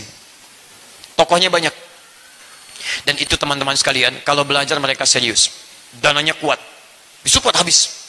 Dan belajarnya nggak nanggung. Kalau Quran, mesti hafal Quran, Pak. Hafal Quran Anda bayangkan. Saya pernah menghadapi di Tripoli, ketika dialog gitu, ya, antar uh, kepercayaan. Saya sebut uh, agama itu saya yakin cuma Islam. Kalau yang lain bukan agama, ya, cuman ini, ini keyakinan saya ya. Yang lain boleh beda, silahkan. Kita menghormati perbedaan orang lain. Jadi ketika dialog, berdialog dengan tokoh di kepercayaan lain, tiba-tiba kita dialog dengan isi kitab dalil nas hafal Quran dia hafal Quran tapi hafalannya tidak ditujukan untuk mendatangkan imannya hanya untuk mencari kesalahan.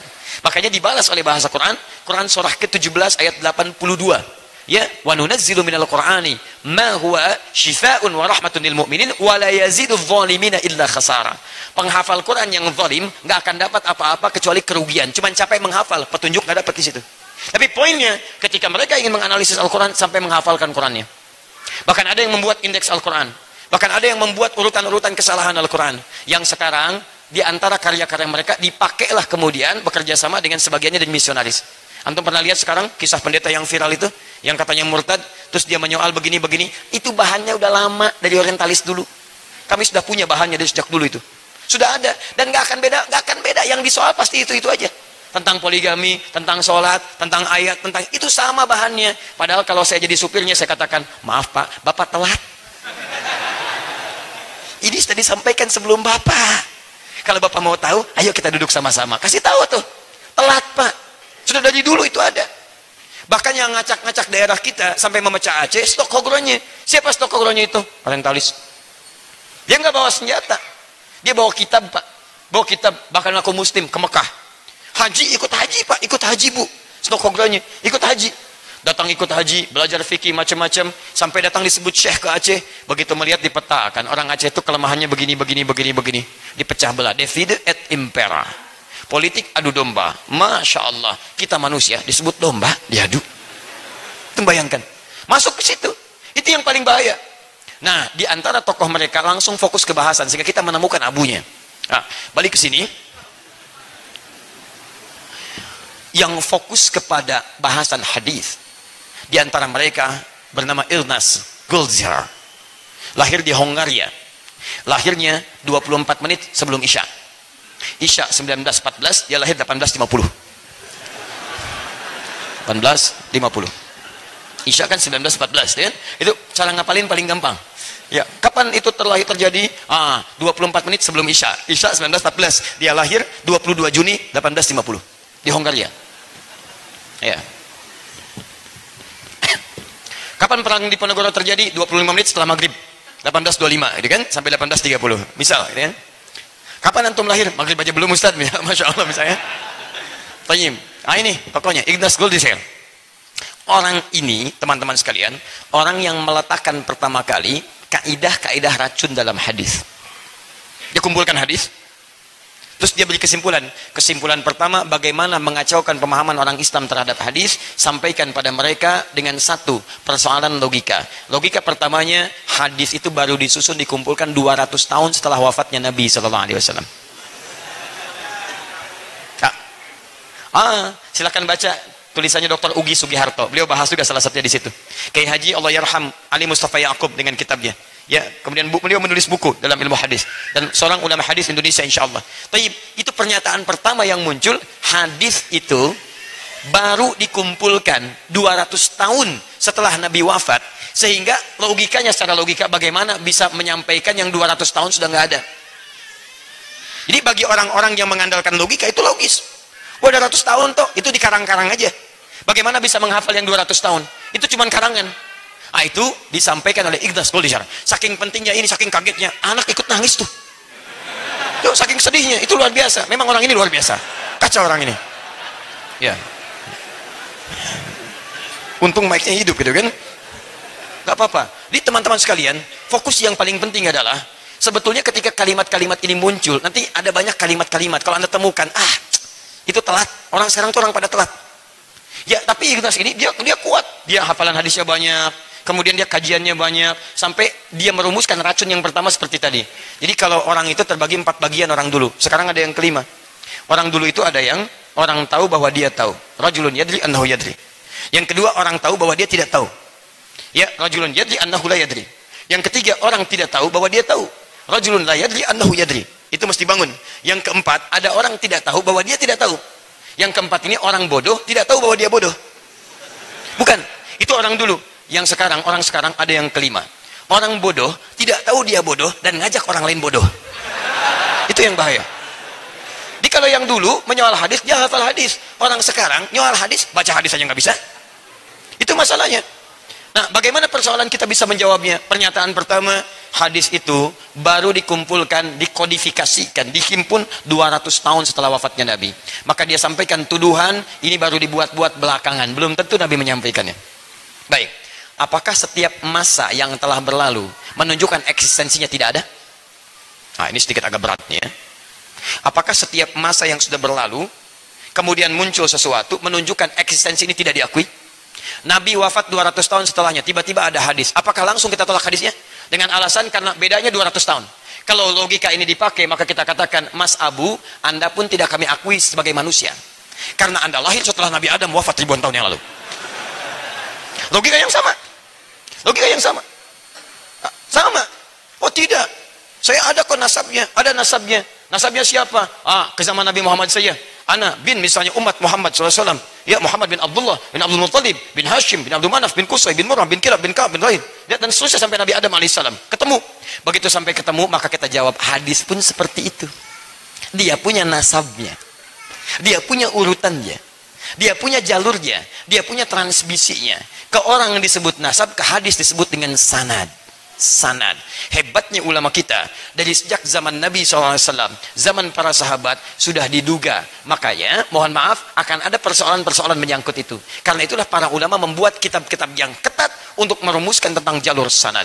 Sampai Iman Muslim membuat satu kitab khusus, bab khusus tentang persoalan sanad. Halaman 119 jilid pertama paling kiri sebelah atas. Babul isnadi minad din. Bab belajar agama sesuai urutan sanad itu yang menentukan benar tidaknya dalam agama. Jadi ulama kita sudah melacak. Bagaimana kalau di soal nanti maka sanadnya perjelas dulu. Makanya dalam hadis ada sanad, transmisi riwayat. Di mana Imam Al-Bukhari menyampaikan hadis padahal tidak pernah ketemu Nabi. Maka an kada an kada an kada an kada an kada sampai ke Nabi. Kalau dipersoalkan, ah kamu bagaimana bisa mengimpun hadis? Kan baru lahir sekarang. Ah, saya menemukan dari sipulan. Sipulan mengambil dari sipulan. Sipulan mengambil dari sipulan. Sipulan yang mengambil dari sipulan sampai dari Nabi sallallahu alaihi wasallam. Apa buktinya dia hidup? Kitabnya ada. Kitab wafatnya Wafayatul A'yan. Al-Isabah fi Tamyiz Sahabah. Kitabnya ini Jarah wa Ta'dil. Ini sifat baiknya, ini sifat buruknya. Sampai ketahuan sifat buruknya pun ditemukan. Ditemukan. Sampai kualifikasi kualifikasi hadisnya. Yang sahih ini syaratnya lima mattasala isnaduhu binaqli al-dhabiti alil al-dhabiti min ghairi syudzin wala illatin qadihatin. Kalau di luar yang lima ini turun dhabitnya satu jadi hadis hasan. Hasan ketemu hasan sahih ghairihi. Sampai turun semuanya. Hadis dhaif hadis maudhu hadis matruk dan seterusnya. Ada turunannya teman-teman sekalian. Semua itu dibuat ketat dan cuma dalam disiplin ilmu hadis yang bisa mengatakan riwayat sampai jelas kepada Nabi sallallahu alaihi wasallam. Sehingga hitam dan putih. Ketika diterangkan kursi pun berubah. Tadinya merah jadi hitam di belakang. Jelas hitam. Yang abu-abu nggak ada. Balik ke sini. Jadi ketika ada orang mengatakan misalnya hadis tidak bisa diterima karena 200 tahun dia baru muncul maka kita jawab dengan logika dulu. Anda pun saya tidak bisa terima sebagai manusia karena anda terlahir setelah ribuan tahun Nabi Adam wafat. Saya nggak terima anda. Anda dari ujung kepala sampai ujung kaki anda bid'ah. Anda nggak ada di masa Nabi Adam alaihissalam jadi kalau anda menolak hadis baru 200 tahun anda sudah ratusan ribu tahun tiba-tiba ada di sini anda siapa? Jelas ya Nah, jadi kalau melawan orang seperti itu nggak usah pakai dalil, kecapean. capek tuh habis berapa jam kita membahas seperti itu? Cuman kita penting butuh riwayat supaya paham bahwa kalimat yang disampaikan oleh lisan orang ini dititipkan oleh Allah subhanahu wa ta'ala sebagai pertanda kepada kita. Ada sesuatu di lisan orang itu. Siapa dia? Siapa anda sebetulnya? Kemarin pakai topi Santa sekarang pakai kaos Santi ya? Besok pakai begini pakai kaosnya Sinta besok besok bicara begini lagi. Ah anda siapa sebetulnya halo ah awas hati-hati saya nggak mau sebut nama dan sebagainya tidak. Karena nama itu kadang-kadang ada yang sama tapi tidak seperti itu perilakunya. Ada. Teman-teman sekalian memperhatikan para janda-janda dan sebagainya. Ada. Ada daerah sampai disebut bikin kaos. Bukan, ada betul. Dia dia dia menyampaikan wasiat dari ayahnya. Perhatikan orang ditinggalkan suami sekitaran, bawa beras dia sampaikan, bawa beras dia sampaikan. Sampai disebut ayah para janda diterjemahkan ke dalam bahasa Arab Abu Janda. Tapi itu betul, bukan menyebarkan hadis hadis ini, hadis ini, bendera begini, aliwa begini, aroya begini. Ah, Gak sama. Balik sini, ya coret.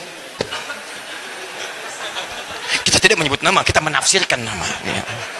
Ah. Oh, jelas ya?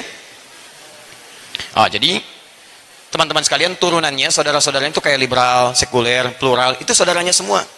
Saudara semua nyambung runtutan akhirnya itu ke sini. Ke sini akhirnya. Saya sudah lumayan agak sedikit kenyang bertemu dengan orang-orang demikian tapi tokoh-tokohnya langsung. Ya ini kami menemukan dengan Jamal Al-Banna. Bicara begini saya ketemu orangnya langsung. Wah pendapat Jamal Al-Banna tokoh begini hafal hadis. Demi Allah saya ketemu langsung dalam satu seminar. Kita ngobrol. Ya ini dahsyat ya. Begitu berpaling dari Al-Quran maka Quran pun tidak ridho di, diucapkan dalam lidahnya. Tadinya hafal Quran paham banyak hadis. Orang tuanya ahli hadis. Tapi tiba-tiba hilang muncul di barat pulang dari barat tiba-tiba berubah. Pemikirannya berubah. Bicara begini begini begini diundang ke Libya. Begitu diundang mengucapkan kul ahad terbolak-balik ayatnya. Ketika bertemu kemudian terpisah dari rombongan baru berkata kalau masih bisa konsisten dalam kebaikan jangan coba-coba masuk ke ranah ini. Karena kalau sudah masuk sulit keluarnya kalimat yang kami dengar sendiri. Langsung ada keterangan dan sebagainya. Maksudnya langsung sampai dengan keterangannya. Ini teman-teman sekalian sama. Jalurnya ke sini ujung-ujungnya. Korelasinya sama. Itu tantangan kita. Antum nggak usah marah karena itu tantangan dunia. Jangan marah. Kita tertantang dengan itu semua. Artinya antum mesti pintar mesti belajar. Jangan mencela. Kalau mencela antum kalah. Dia belajar bahasa kita kita saja belajar bahasa dia. Dia belajar pemikiran kita kita belajar pemikiran dia. Bikin antum kelas pemikiran bikin kelas orientalis pelajari mereka siapa sehingga dengan itu antum melawan dengan ilmiah dia ilmiah antum ilmiah masa dia pakai ilmiah antum pakai otak maksudnya marah-marah dan sebagainya antum pakai emosi kan gak nyambung dia pakai ilmiah, antum pakai lisan, antum pakai celaan, antum yang kalah. Tidak, lawan dengan kebaikan lagi. Dan jangan cari pertentangan yang kontraproduktif, tidak. Tulisan, balas dengan tulisan. Ilmiah dengan ilmiah lagi. Data dengan data lagi. Data dengan data lagi. Uh, data kurang, sampaikan. Wah, saya masih ingat itu. Masuk top coffee dari awal ya tiketnya 30 lira kemudian masuk. Ya baru bukanya seperti ini. Paling kiri itu yang perempuan. Paling kiri perempuan paling kanannya dia pakai rompi sebelah sini. Masuk belok kanan di situ ada tentara. Pegang seperti ini. Tentaranya masih muda. Kalau yang paling kanan itu usia 40-an seperti Ustaz Pelik lah. Ya seperti itu. Pegangannya seperti ini. Tapi bisa dipoto dia. Bisa dipoto samping kanan kiri. Itu melurus lagi. Jalan kisaran 300 meter ke depan baru ketemu bab. Ya warnanya hijau di situ. Dan tarik garis lurus kemudian antum belok kiri. Begitu belok kiri antum akan menemukan salah satu tempat museum itu untuk uh, semacam miniatur Ka'bah tempo dulu tapi bukan miniatur Ka'bahnya, di situ ada mizabnya, ada bagian kunci Ka'bahnya, sebelah kiri kan kunci Ka'bah dengan pintunya dipajang begini. Dan antum belok kiri dengan antrian, kalau ingin ke kanan itu wilayah pedang, ke kiri wilayah peninggalan Nabi, ada janggut Nabi dan sebagainya. Itu kirinya. Belok kanannya lurus ketemu dengan pedang. Di antaranya pedang sahabat Ali bin Abi Thalib radhiyallahu taala Betul saja. Ya, lurus sedikit pedang Nabi Muhammad SAW. Di depannya langsung uh, itu bajunya Sayyidah Fatimah radhiyallahu taala anha yang warnanya krem pada satu abu-abu. Terlihat seperti baju yang luar biasa. Masih ada sampai saat ini. Saya katakan pada satu teman-teman sekalian, perhatikanlah kesederhanaan menghadirkan cinta yang sangat abadi. Tidak ada yang paling fakir pada saat itu di antara keluarga Nabi kecuali keluarga sahabat Ali bin Abi Thalib dan Fatimah Az-Zahra radhiyallahu taala anhuma. Saya sangat mencintainya, mencintai ahli bait dan sebagainya. Itu masya Allah teman-teman sekalian. Satu kali pernah Hasan itu pingsan karena nggak ada makanan. Dan Fatimah radhiyallahu taala anha sampai minta tolong. Gak ada makanan gitu. Anak saya tuh. Saat itulah mendengar kemudian Nabi mendapatkan hadiah lima ekor kambing. Saat mendengar itulah Fatimah datang kepada Nabi SAW dengan niat meminta bagian itu dan Nabi tahu keadaan itu.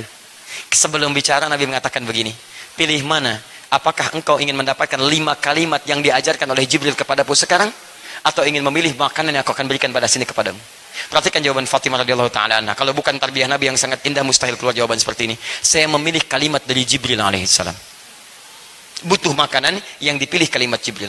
Ketika diajarkan kalimat itu Masya Allah kenyang Al-Hasan nyaman kehidupan. Perhatikan yang sangat terbatas yang sangat sederhana yang luar biasa tabah dalam kehidupan tiba-tiba pakaiannya sampai sekarang masih ada utuh Hei antum yang mencari kehidupan dunia. Hei yang pakainya selalu gonta-ganti. Hei yang lemarinya bahkan penuh dengan pakaian yang tidak terpakai. Saya katakan pada anda, berapa abad pakaian anda bisa abadi sampai generasi yang akan datang?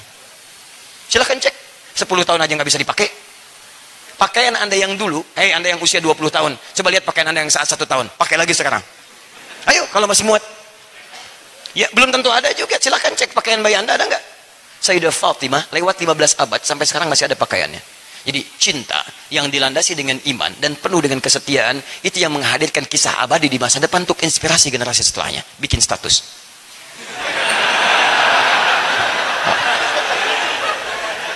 Terus turun tangga, tangganya jumlahnya ada tujuh, belok kiri, kemudian belok kiri antum menemukan tangga lagi kanan dengan kiri. Kalau kiri antum keluar, langsung melewati bagian, tapi antum bisa foto-foto, ada bendera Turki di depannya, belok kanan lurus, ke situ antum menghadapkan Strat Bosporus, Strat Bosporus, kemudian antum bisa turun tangga, tangganya jumlahnya 19, turun ke bawah, ada hotel sebelah kiri, ada toiletnya, toiletnya masuk sebelah ujung, paling ujung. Pelayannya agak gemuk sedikit, ya, nah, di situ. Kurang lebih demikian. Tapi tidak, saya sepakat dengan Ustaz Pelik, saya tidak menemukan bendera yang dimaksudkan oleh Pak Abu. Hmm. Saya masih detail. Ah, sudah, sudah, sudah, sudah. Sudah. Kita kembali ke sini. Ah, jadi ini persoalan dia. Jadi kita berhadapan dengan agen-agen orientalis kontemporer. Kontemporer sekarang ini. Ya kalau istilah tadi zaman now gitu kan. Nah, jadi ini persoalan kita. Tapi kita nggak nggak boleh menyalahkan. Soalnya kamu begini kan hujat habis-habisan bukan. Masa antum kerjaan cuma menghujat aja. Kita tuh umat terbaik kuntum khairu ummah. Datang orang bawa ilmu, antum belajar pakai ilmu.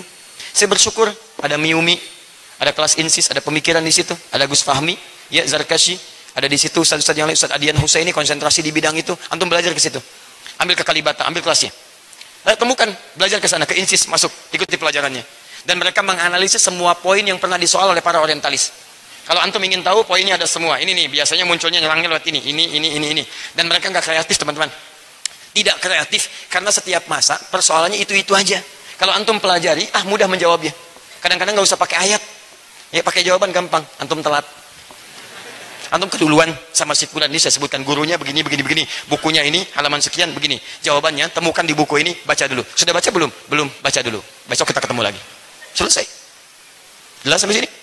Ah, tapi biasanya kalau uangnya habis, orang hilang. Ya. Itu mereka musiman.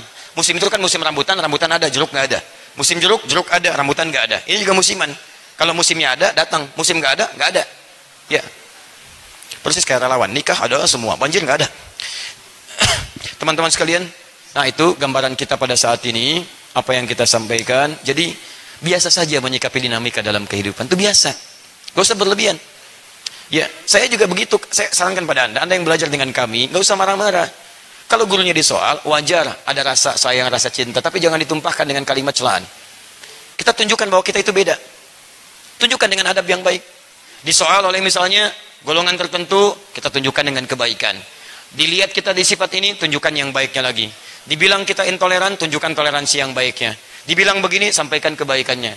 Sepanjang hubungan berbangsa dan bernegara, saya katakan hari ini, termasuk kami sampaikan pada saudara-saudari kami sebangsa setanah air, yang barangkali akan merayakan satu ibadah dalam agamanya setiap Desember bagi umat Kristiani yang barangkali akan merayakan Natalnya saya memohon maaf Adi Hidayat sebesar-besarnya. Kalau belum mampu mengucapkan selamat kepada hari raya ibadah Anda karena memang dalam kepercayaan kami kami tidak mampu mengucapkan itu.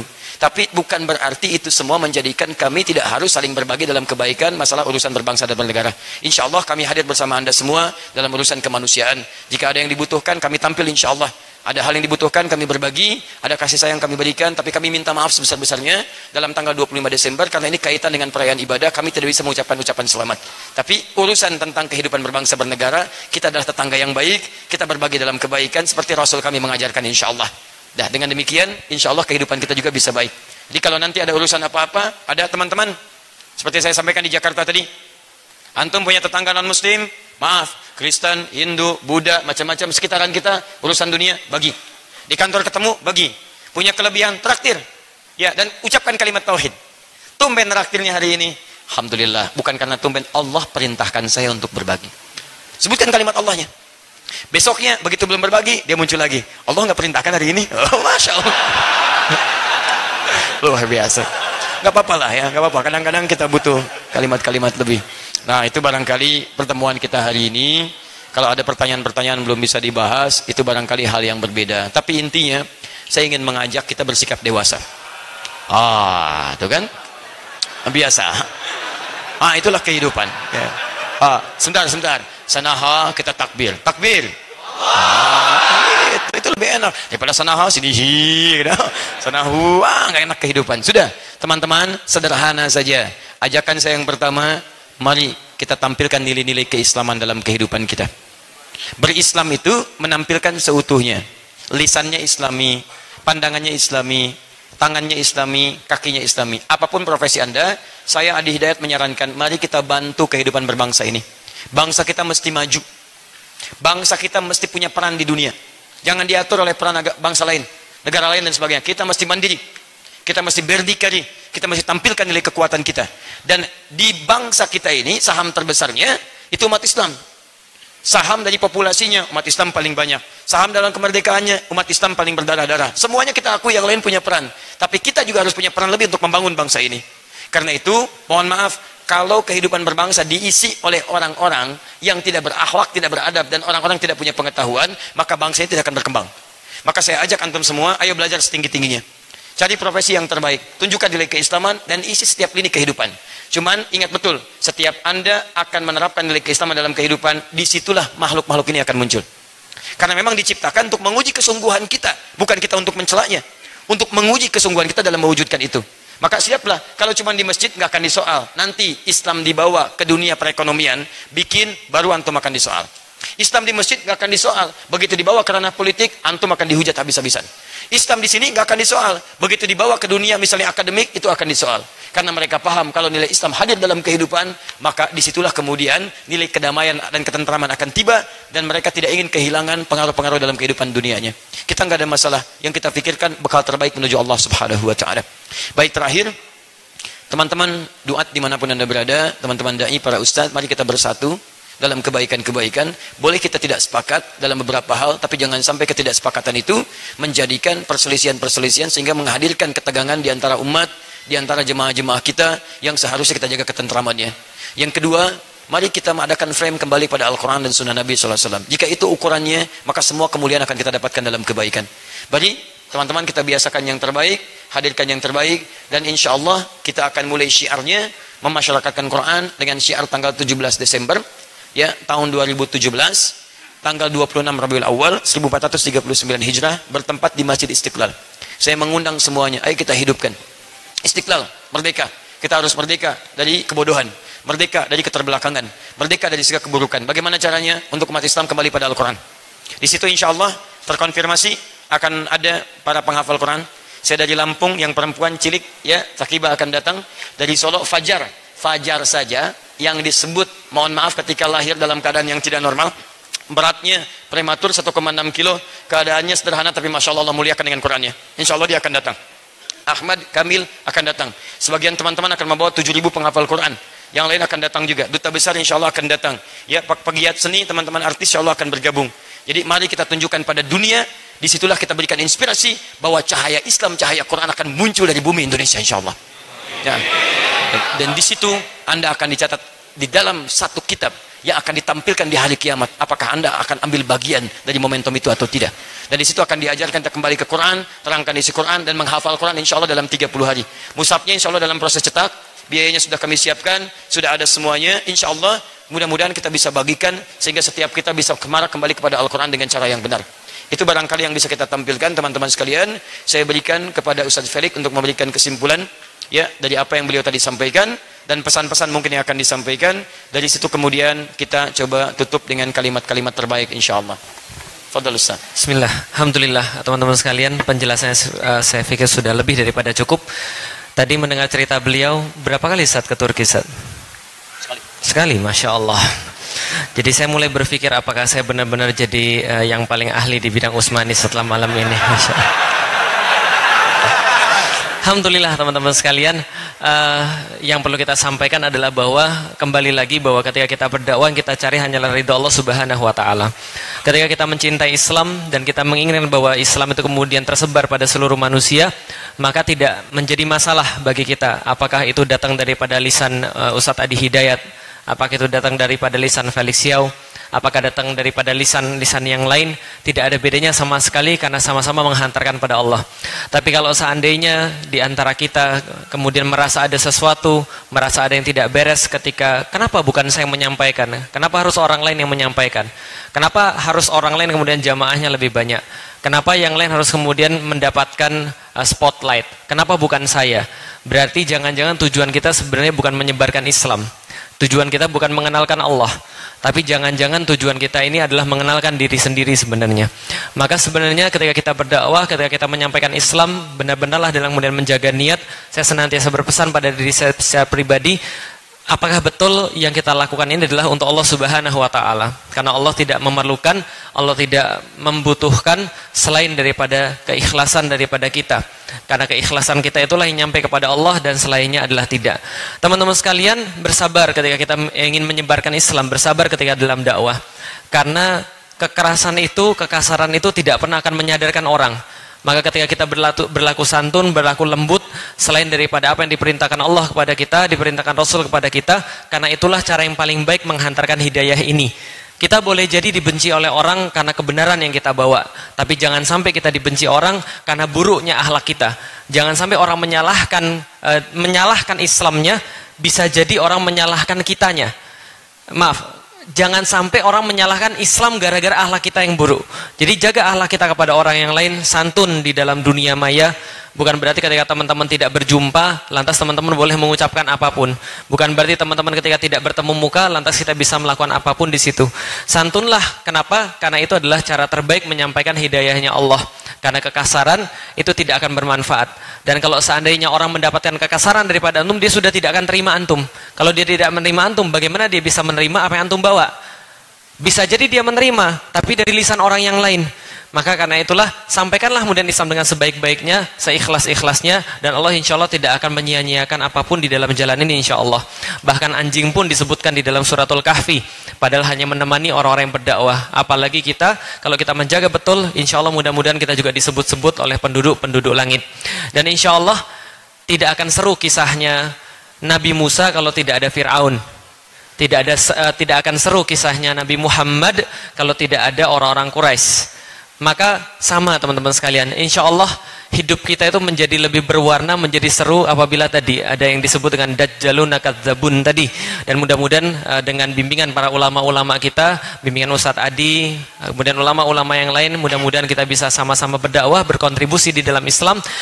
Kita tidak menginginkan bahwa kita satu-satunya orang yang menyebarkan Islam.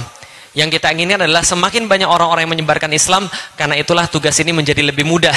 Maka teman-teman sekalian, mudah-mudahan kita termasuk orang yang memanfaatkan apa yang Allah amanahkan kepada kita, dan kalau Allah masih mengamanahkan agama ini pada kita, bersyukurlah. Mudah-mudahan dengan itu, wasilah kita menuju pada surganya Allah bersama-sama. Amin. Terima kasih. Assalamualaikum warahmatullahi wabarakatuh. Assalamualaikum. Dan sebentar, uh, saya ingin sampaikan tiga hal lagi. Yang pertama, saya harus menepati janji karena saya ingin mengucapkan terima kasih karena pembahasan kita termasuk hadis yang kemudian dihadirkan itu karena juga peran dari saudara kita. Saya sudah janjikan kalau datang saya kasih tiket umrah dan saya antarkan ke dubesnya. Tapi karena yang bersangkutan tidak hadir, maka insya Allah biaya umrahnya akan saya alihkan untuk membantu saudara-saudari kita di Jogja dan di Bali. Saya sendiri yang akan datang ke Jogja insya Allah dalam waktu dekat.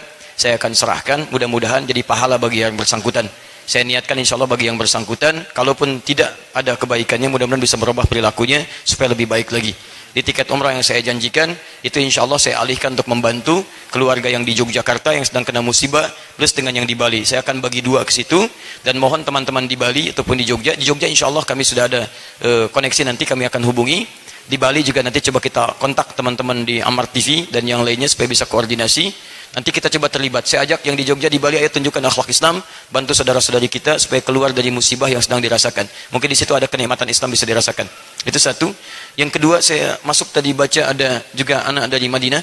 Universitas Islam Madinah kemudian ingin datang memberikan koreksi dan minta diberikan ongkos dan sebagainya saya nanti bikin memo malam ini saya hubungi nanti di kedutaan besar Republik Indonesia di Saudi Arabia supaya bisa mengecek alamat itu namanya siapa siapa tempatnya di mana. Saya tulis suratnya nanti untuk rektornya supaya bisa disampaikan orang ini ingin bertemu dengan saya tolong berikan visa keluar dan nanti dari uh, tulisan nanti akan dibawa oleh kedutaan insya Allah mudah-mudahan disampaikan. Saya berikan ongkosnya untuk datang insya Allah dijemput. Kalau nanti orangnya bisa dan dia mau kita akan hadirkan tanggal 17 nanti Desember di Istiqlal langsung di hadapan duta besar Saudinya. Dia silahkan saya berikan waktu bicara tentang kesalahan-kesalahan saya supaya semua orang bisa tahu saya bisa merenungi. Kalau benar saya katakan dia benar kemudian saya akui kalau mungkin dia salah kemudian di situlah kita belajar bahwa tidak baik kita menantang seseorang dan menyampaikan sesuatu pada hal yang tidak baik ya insya Allah saya nanti penuhi permintaannya. Uh, apakah mau atau tidak itu urusan yang bersangkutan. Ya yang penting gak ada masalah ada masalah tampilkan. Ada kebaikan kita sampaikan. Yang terakhir tadi ada banyak hal kita dapatkan. Tidak akan seru kisahnya Musa kalau tidak ada Fir'aun. Tidak akan seru kisah Nabi Muhammad SAW kalau tidak ada Abu Jahal Abu Lahab. Tidak akan seru kisahnya Ustadz Felix kalau tidak ada abu-abu yang lainnya gitu kan? Nah, karena itu sudah jadikan itu bagian dari bumbu kehidupan kita. Subhanakallahumma bihamdika asyhadu an la ilaha illa anta astaghfiruka wa atubu ilaik. Wa akhiru da'wana alhamdulillahi rabbil alamin. Assalamualaikum warahmatullahi wabarakatuh